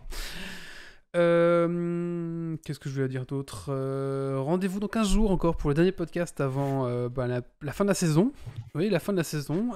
et aussi une Ouais. petite pause, petite pause de Noël pour tout Geeks League. Bon, même si cette année on va pas faire grand chose, on va quand même faire une petite pause de Noël. Euh, vous pouvez nous retrouver sur www.geeksleague.be. Donc, euh, on a notamment bah, mis quelques articles pour l'instant. On a eu les vidéos de, de, de Doc si vous voulez un petit peu jouer à Warhammer 40 000 sur internet. Voilà, il y a des petits tutos qui viennent d'être mis en Elles place. sont très bien faites. Et oui, c'est- compréhensible et tout, c'est pas mal. Franchement, c'est vraiment sympa. Et en plus, je crois qu'on est la seule vidéo FR qui explique comment on peut faire ça. Manifestement, donc il y en a une autre un peu obscure qui est trouvable selon Voilà. certaines personnes. euh, mais Mais euh, un point par point, qui, un, le- un guide qui vous ça prend par la main, il y, a, il y a- il y en a pas. Voilà. Euh, ah, le, le tuto Warhammer 40 000 Oracti, il est déjà sur YouTube si tu aller le voir. Même pas besoin de regarder la diffusion, tu vas voir sur notre chaîne YouTube. Il y a deux parties. Une partie comment tout installer, une partie comment prendre les choses en main et jouer. Voilà, et il y aura un troisième, et comme tous les triptyques, on les finira jamais à Geeks League. Voilà. Jamais. Ah, il est déjà tourné. hein. Il est déjà tourné. Il a- le. Voilà, il est pas encore là, mais oui. Euh, oui. D'ailleurs, si vous êtes sur YouTube et que vous avez réussi à nous écouter jusqu'au bout, n'hésitez pas à cliquer sur le petit bouton abonnement et euh, petite cloche. Bon, comme ça, euh, c'est Oui. bien pour nous. hein. Voilà, c'est ça. C'est vrai, c'est vrai. vrai, et on a de la marchandise. Et maintenant, on gagne un petit peu d'argent dessus. Mais avant, c'était pas le cas. Ah oui, de la marchandise, oui, on, on vend pas, on vend pas des côtelettes de porc, on en vend des geeks, des, des pulls Geeks League en effet. On a une boutique, la boutique geek, euh, vous pouvez avoir le lien sur notre site et euh, des, des petits boutiques. Voilà, si vous voulez vous faire plaisir euh, pour Noël, de toute façon, euh, voilà, hein, Noël cette année ça va être un peu naze. Bah achetez des, des, des goodies euh, Geeks League tout simplement, des, des petits pulls, des petits machins, Ouais. c'est sympa. Ils sont sympas, franchement. Même nous on se fournit là parce que euh, on- c'est un Parce qu'ils sont cool. Bah si, ils sont cool. Voilà. En fait, il y a que nous qui en achetons. Mais non, figure-toi Non. que non, figure-toi qu'on a, j'ai des ventes, et je ne sais pas qui les achète, parce que du coup, je- Eh j'ai ben, pas eh. les coordonnées des gens, et je dis quoi Que des gens achètent, et je ne sais pas qui. Mais même nous, on se fournit là. euh, en même temps, si on veut, un- si on veut porter nos propres couleurs, on n'a pas vraiment le choix. C'est vrai, c'est vrai. Mais non, la qualité est cool. euh, La qualité est bien, la qualité spreadshirt est vraiment correcte, ouais. Bon, écoutez, on va, on va finir ici. Encore merci une fois à Erwick, franchement, c'était vraiment sympa. Et ben, on espère euh, te voir en boutique, alors c'est ça? Eh ben, merci à vous, merci beaucoup. De C'était très plaisant. Écoute, Pas de soucis. Plaisir oui. partagé, ouais. Allez, rendez-vous dans 15 jours, et surtout, d'ici là, ne lâchez rien. Ciao, ciao. Bah, et- Ciao Au revoir tout le monde. Bye bye. Ciao. Joyeux Noël. Alerte. Dépressurisation atmosphérique. Évacuation immédiate du personnel. Evacuation order. Evacuation order. Evacuation order. Evacuation order.